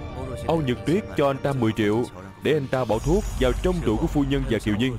Sau đó, anh ta lại tống tiền, Âu Nhật Tuyết thêm 10 triệu nữa. Giám đốc Ngô còn nói thêm một số chuyện khác. Chiếc xe đâm Dương Ngô cũng là do anh ta làm. Thảo nào lúc đó không điều tra được gì, Trước đây chúng ta không hề biết Giám đốc Ngô và Nhật Tuyết có liên hệ, Cho nên không điều tra đến chuyện này. Còn nữa, Nhật Tuyết chính là người tiết lộ sai tin cái chết của Dương Huy cho phu nhân. Âu Nhược Tuyết, Cậu hàng chuyện này Hay là cậu xử lý đi? Không cần, Giao cô ta cho công an. Sau này tôi không muốn lại nhìn thấy người này nữa. Dạ.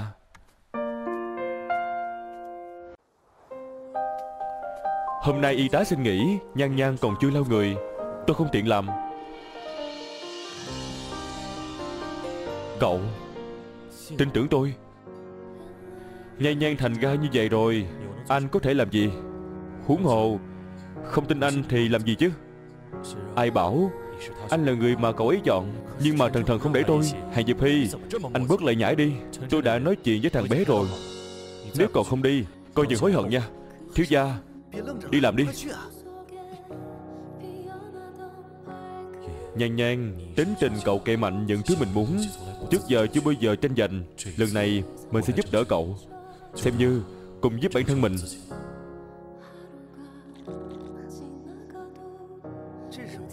Đây là cái gì? Đây là đậu vàng. Mẹ con nói, Chỉ cần đến lúc đậu vàng một mầm Thì con sẽ khế lại. Sau đó con lại bỏ thêm đậu vàng mới, Là mẹ con sẽ khế lại. Nhưng mà đậu vàng này chín rồi, Không mọc được nữa. Chú lừa đảo Lừa đảo.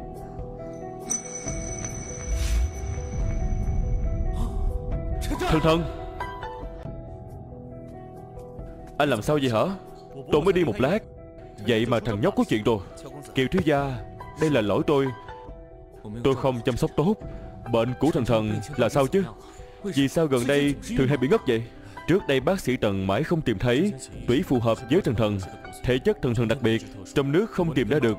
Giống dĩ tôi muốn mang nói ra nước ngoài trị bệnh, Nhưng mà gần đây có rất nhiều chuyện xảy ra, Tôi không có thời gian đi. Có phải chỉ cần tìm được tủy phù hợp không? Ừ.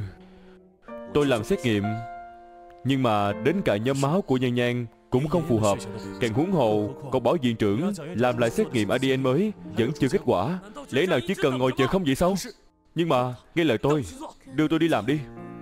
Đi. Tôi và Âu Nhan còn chưa ly hôn đâu. Không cần biết thần thần Có phải là con ruột của tôi hay không. Giờ tôi chính là cha cậu ấy. Có bất cứ vấn đề gì, Tôi sẽ phụ trách. Đi.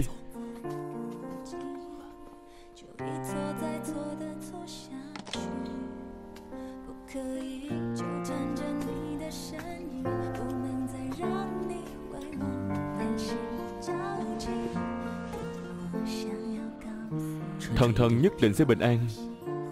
Yên tâm đi. Nó có một người mẹ kiên cường như vậy. Nó nhất định cũng vượt qua được.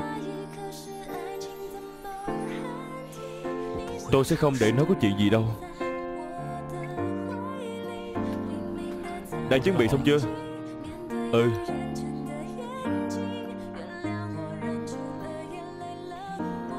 Chờ lúc cô tỉnh lại. là chúng ta đoàn tụ rồi.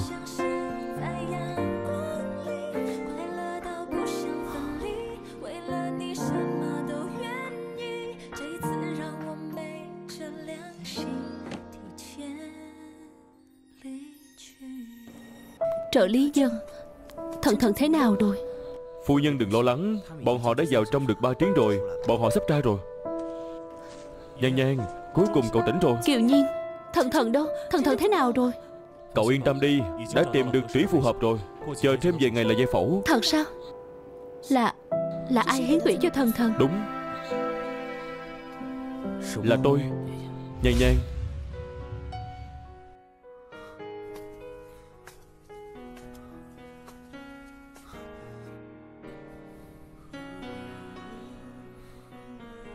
Xin lỗi. Trước đây là tôi không tốt Để cho cô phải chịu khổ nhiều như vậy Thật là xin lỗi nhiều. Anh đợi biết rồi sao? Không kịp chờ Kết quả xét nghiệm ADN của viện trưởng Vừa rồi khi xét nghiệm độ hợp của tủy Đã đối chứng được rồi. Lại nói Sao viện trưởng lại chậm như vậy? Lẽ nào lại lớn tuổi rồi Mắt qua tay chậm Không nhìn rõ nữa? Có đây có đây. Cậu hàng Chúc mừng cậu cậu hàng Thần thần đúng là con trai của cậu thiệt Toàn thế giới đều biết rồi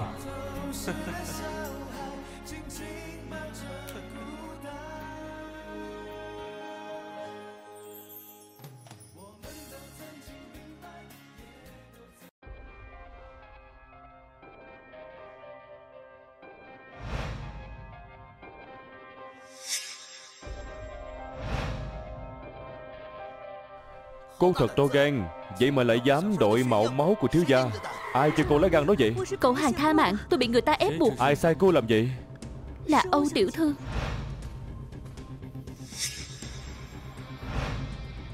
Lại là cô ta. Thiếu gia Người này dứt sau đây. Giao cho viện trưởng tưởng. Làm ra lời chuyện này Phải xử lý ngay. Dạ Dạ. Đi. Cậu hàng tha mạng Cậu hàng tha mạng. Thiếu gia Cảnh sát đã đến nhà Âu để bắt người rồi. Nhưng mà Âu Nhật Tuyết chạy rồi. Thiếu gia sắp làm giải phẫu rồi. Tôi sợ cô ta lại làm ra chuyện gây bất lợi cho thiếu gia lúc này.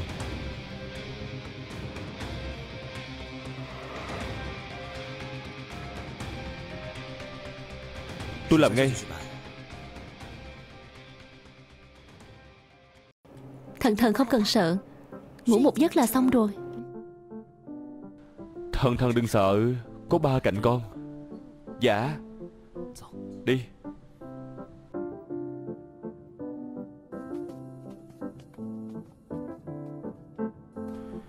Phu nhân Sức khỏe cô chưa tốt.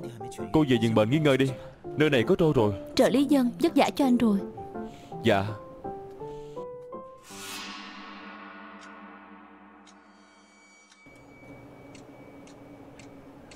Thần thần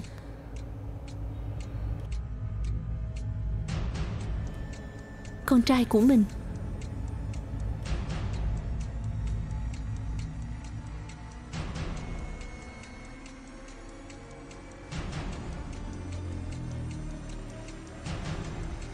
Thần thần Cô tỉnh rồi, Đến giờ truyền rồi. Để tôi làm, Cô đi làm việc đi.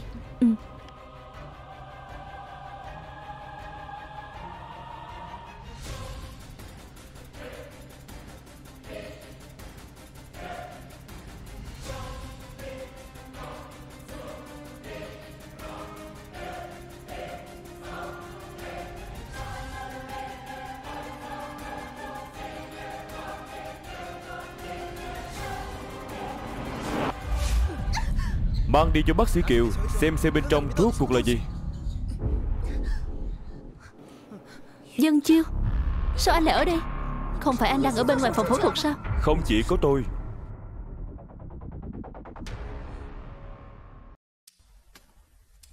Không thể nào như vậy.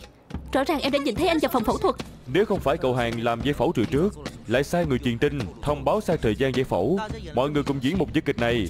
Không phải là vì muốn bắt con cá lọt lưới là cô sao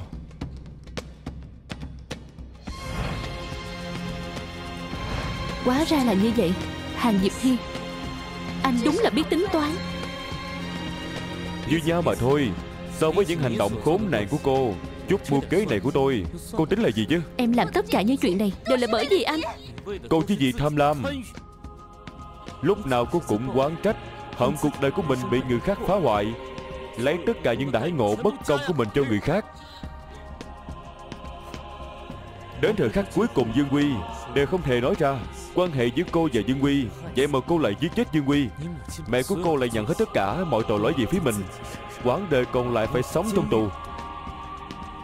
Còn có Triệu Doanh Doanh Chúng tôi điều tra theo dõi đầu mối năm đó. Cho Doanh không chết vì bệnh Mà trong thức ăn của bà ấy, Quanh năm bị bỏ vào một loại thuốc, Là một âm mưu giết người dài 20 năm. Âu Nhược Tuyết, Sao cô có thể làm như vậy? Cho dù bà ấy không phải mẹ ruột của cô, Bà ấy đã nuôi dưỡng cô hơn 20 năm, Cô hiểu cái gì? Cô ở nhà họ Âu Nhận hết mọi yêu thương.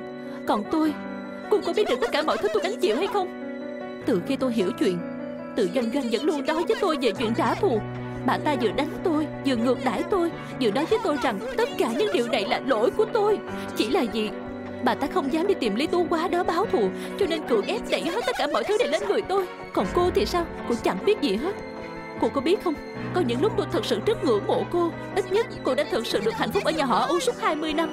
Nhưng mà cô biết không? Khi tôi biết được người trước mặt không phải là mẹ ruột của mình, Tôi lại không có khả năng phản kháng lại bà ấy. Cảm giác đó nó tệ thế nào?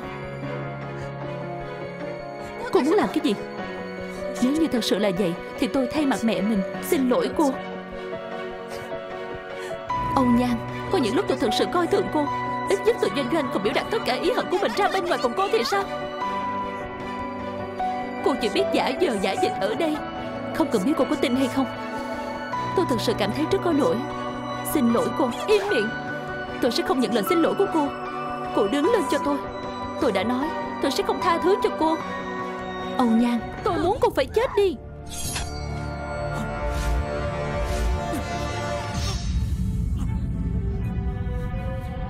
Bác sĩ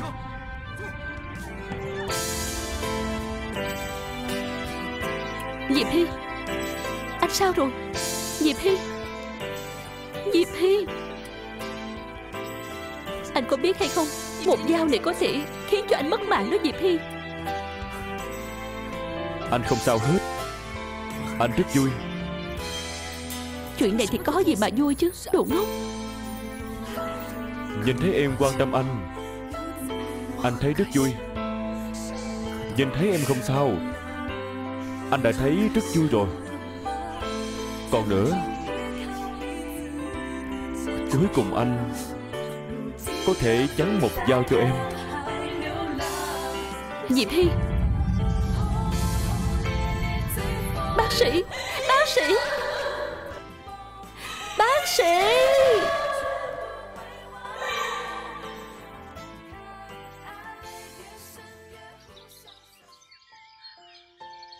Mẹ ơi Đầu vàng đã một mầm rồi. Có phải ba sắp khỏe lại rồi không? Thần thần Mẹ đã nói với con thế nào? Trước đây con đã đồng ý gì với mẹ? Không được làm phiền ba. Ra ngoài chơi đi. Cháu biết ông. Cháu từng nhìn thấy hình của ông.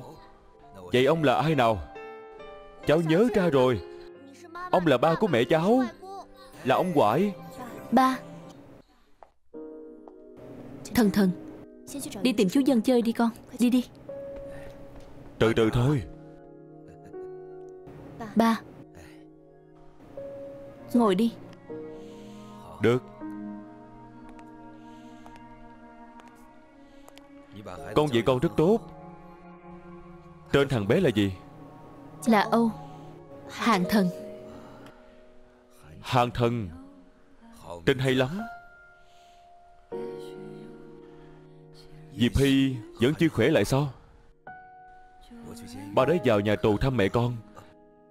Dì của con và em gái con Nhưng mà họ không hề biết hối cải. Thật khiến ba tức chết được. Có những lỗi Không cần phải tha thứ. Có những mối hận Cũng không cần quên đi. Nhan nhan Con đồng ý Tha thứ cho ba không? Ba nghe Dược Tuyết nói Những chuyện mà nó gặp phải Thật không ngờ Cuộc đời của nó lại bi thảm như vậy. Trên trên bà ấy. Mẹ con đã làm sai rất nhiều chuyện. Nhưng mà bà ấy cũng đã phải trả giá. Sao ba hạ tất phải làm vậy? Nhan nhan Con hiểu lầm ba rồi. Là ba đã hại mẹ con Cũng hại cả Tú Hoa Đến cả con là Nhược Tuyết. Đi tới bước ngày hôm nay Cũng đều là vì ba. Nếu như ban đầu ba không phạm sai Thì khi hai người họ cùng một lúc mang thai Ba quyết định mọi chuyện. Mọi người Mọi người đã không biến thành dáng vẻ như ngày hôm nay. Ba. Hiện giờ Vẫn còn đồng ý gọi ba một tiếng ba. Ba thấy đã đủ lắm rồi. Nhan nhan Giống như con đã nói Có những lỗi lầm Là không thể tha thứ được Nhưng mà Con hãy nhớ cho ba. Ba vĩnh viễn Chính là ba của con. Bị thiệt thòi ở bên ngoài Nhớ phải về nhà. Ba ơi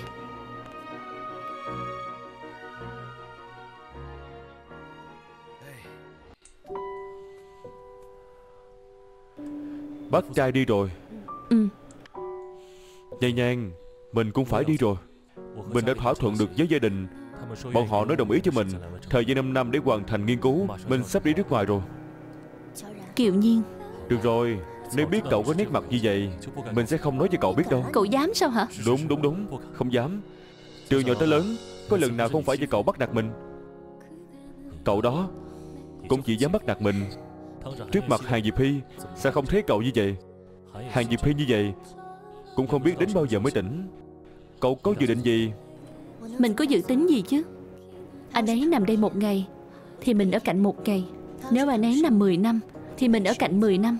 Ai kêu ông Giang mình gặp phải người không ra gì Chỉ có thể lấy gà theo gà Lấy chó theo chó. Nghe thấy chưa? Ông dậy đi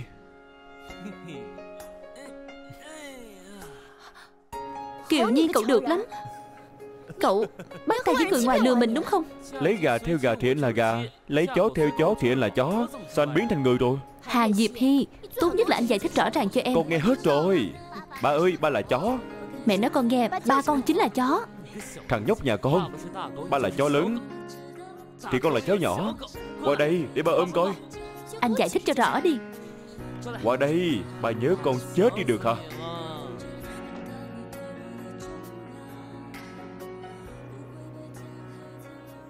Xin đợi một dạ. lát.